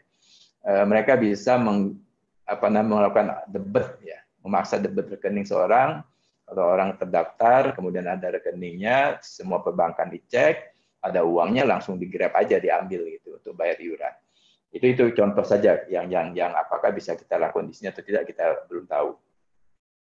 Kemudian yang kedua, uh, ya kalau kaitannya dengan uh, dana DJS tadi ya, kalau kita bicara sistem, tadi kami sampaikan lapisan yang kami buat itu kan uh, sangat rapat sebetulnya ada lapis pertama, berkas masuk, dicek, kalau berkasnya tidak sesuai dikembalikan.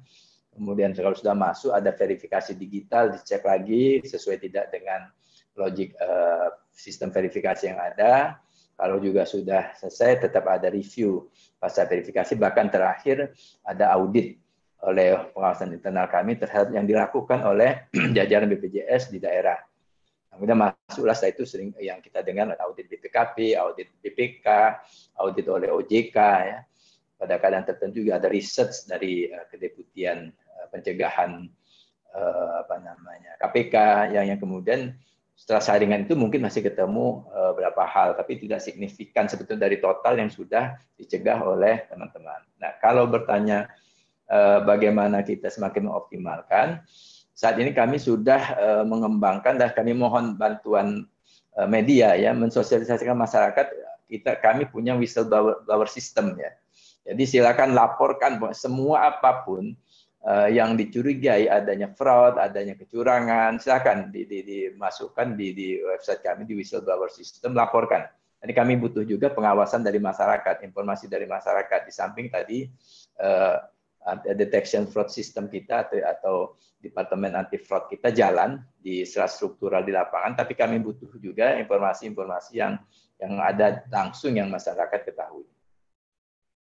Kemudian eh, kalau total penurunan peserta dari seperti yang kami sampaikan kemarin pada saat rapat kerja dan RDP DPR itu angkanya sekarang ini penurunannya 7,54 persen ya dari total peserta Eh, PBPU. Tapi di samping penurunan juga ada peningkatan. Ada peningkat peserta yang naik kelas juga 0,53 persen. Jadi angka ini masih eh, sesuai dengan perhitungan kami. Kami menghitung bahwa pengalaman 2016 ya adanya penyesuaian iuran, kemudian ada teori yang namanya eh, apa namanya demand plasticity ya. Itu juga kira-kira 15 persen di akhir tahun, kalaupun ada penurunan. Saat ini sebetulnya angkanya sudah cukup matang dengan melihat uh, Perpres 82 kemarin yang iurannya 160 ribu kelas 1, 100, uh, kemudian 110 ribu kelas 2, itu penurunannya sampai kemarin, sampai tiga bulan itu uh, sekitar 7,54 persen. Nah kami pada prinsipnya membuka kesempatan kepada masyarakat yang merasa bahwa iuran kelas 1 dirasakan tinggi yang kelas 2 dirasakan tinggi. Silahkan kalau ingin uh, turun kelas. Jadi ada program kami yang namanya super praktis di bulan ini dan bulan depan yang yang memungkinkan masyarakat untuk mendaftar dan pindah kelas. Sama ini soal perpindahan kelas karena harus menata kapitasi, menata puskesmas atau FKTP-nya itu baru satu setelah masuk satu kelas baru bisa satu tahun bisa pindah kelas. Nah sekarang kami buka uh, dengan lebih cepat ya. Paling lama satu bulan sudah bisa malahan sama bulan Mei Juni ini hari ini mendaftar hari ini pun kami layani untuk persiapan proses administrasinya. Jadi eh, prinsipnya apa pun yang yang masyarakat rasakan baik ya dalam konteks gotong royong itu kita terbuka by system tapi kalau by konsep tadi Prof Budi sampaikan eh, Bu Ine juga sampaikan bagaimana gotong royong besar ini bisa terbangun eh, prinsipnya Eh, kita dua hal yang selalu kita sampaikan bahwa protection and sharing. Kalau menjadi peserta artinya Anda memproteksi diri Anda gitu ya. Kemudian mungkin tidak terpakai, tapi suatu saat siapa orang tidak mungkin tidak mengalami gangguan kesehatan. Pada saat itu Anda butuhkan Anda terproteksi. Tentu dengan behavior dan harapan masing-masing di kelas mana merasa cocok dilayani untuk saat ini. Nanti ada kelas standar itu akan berbeda. Yang kedua sharing. Walaupun Anda tidak menggunakan, sebetulnya pada hari ini Anda bersodakoh gitu, sharing, membantu yang lain yang sedang sakit. Itu saja Pak uh, Nasin yang bisa saya jawab. Terima kasih Pak. Uh, Ibu Yani silakan. Ada dua pertanyaan. Iya, terima kasih uh, Bu Intan ya dari Kompas. Ini jawaban saya ini sangat uh, terkait dengan apa yang disampaikan Pak Dirut ya uh, tadi tentang penurunan kelas dari PBPU ya. Jadi menurut Pak Dirut kan tidak semuanya turun kelas ya, bahkan ada yang naik kelas ya. Yang turun kelas tadi hanya tujuh setengah persen. Jadi eh, kalau ditanya bagaimana dengan eh, ketersediaan tempat tidur, memang ini menyangkut antara demand dan supply ya, khususnya untuk eh, kepesertaan CKN pada kelas 3.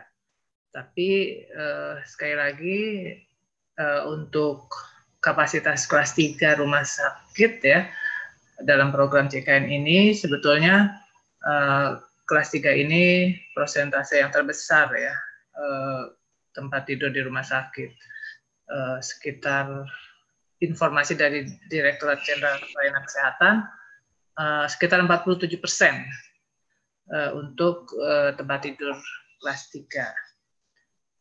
Lalu yang kedua, uh, ini juga mengenai standar pelayanan uh, klinis ya, atau medis ya, di mana standar pelayanan medis ini adalah kewenangan dari uh, organisasi profesi ya untuk menetapkan standar-standar uh, pelayanan tersebut. Jadi sebetulnya bukan Kementerian Kesehatan. Uh, prosesnya pun uh, dilakukan oleh para dokter tersebut ya, uh, yang mana nanti pengesahannya memang melalui Menteri Kesehatan.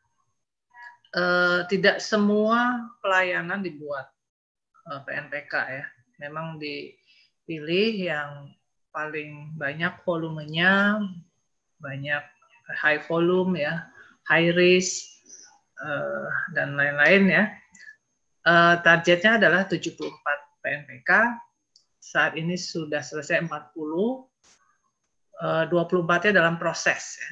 Dari 24 dalam proses, 14 sudah finalisasi. Jadi ini kelihatannya uh, para dokter juga ngebut ya, sesuai dengan rekomendasi uh, KPK bahwa PNPK ini harus diselesaikan. Uh, tentunya uh, Kemenkes sangat uh, kooperatif dan mendukung ya pada para profesi untuk segera menyelesaikan PNPK. Demikian, Pak. Terima kasih Bu Yani eh, karena waktunya sudah melebihi dari jadwal. Mohon maaf para pembicara lain jika tidak diberi kesempatan closing. Juga terima kasih pada seluruh peserta. Di sini ada wartawan, ada para dokter, ada dari Faskes juga dari BPJS. Jadi peserta sangat beragam. Tadi juga saya lihat ada Pak Umar Wahid, kemudian Pak Ghazali Situmorang juga. Terima kasih atas partisipasinya. Terima kasih kepada Pak Dirut, Bu Yani, Bu Kapus, Ibu Ine. Terima kasih. Terima kasih atas presentasinya luar biasa. Terima kasih sama-sama. Waktunya molor. Eh, mohon izin. Assalamualaikum warahmatullahi wabarakatuh. Terima kasih Pak. Terima kasih Prof. Budi, Bu Yani, Bu Ina, terima kasih semuanya semua peserta, partisipan. Mohon maaf nggak bisa nyapa satu persatu. Peserta yang nggak bisa. Assalamualaikum. Assalamualaikum. Kalau ketemu di lain kesempatan. Assalamualaikum. Assalamualaikum. Ada serial lain. Mudah-mudahan bagi yang berminat ada lima seri. Mana? Ya, mohon pamit. Mohon pamit. Terima kasih. Terima kasih banyak pembicara. Terima kasih banyak. Izin pamit semuanya. Ya, Prof. Sehat-sehat ya. Oke. Sehat selalu.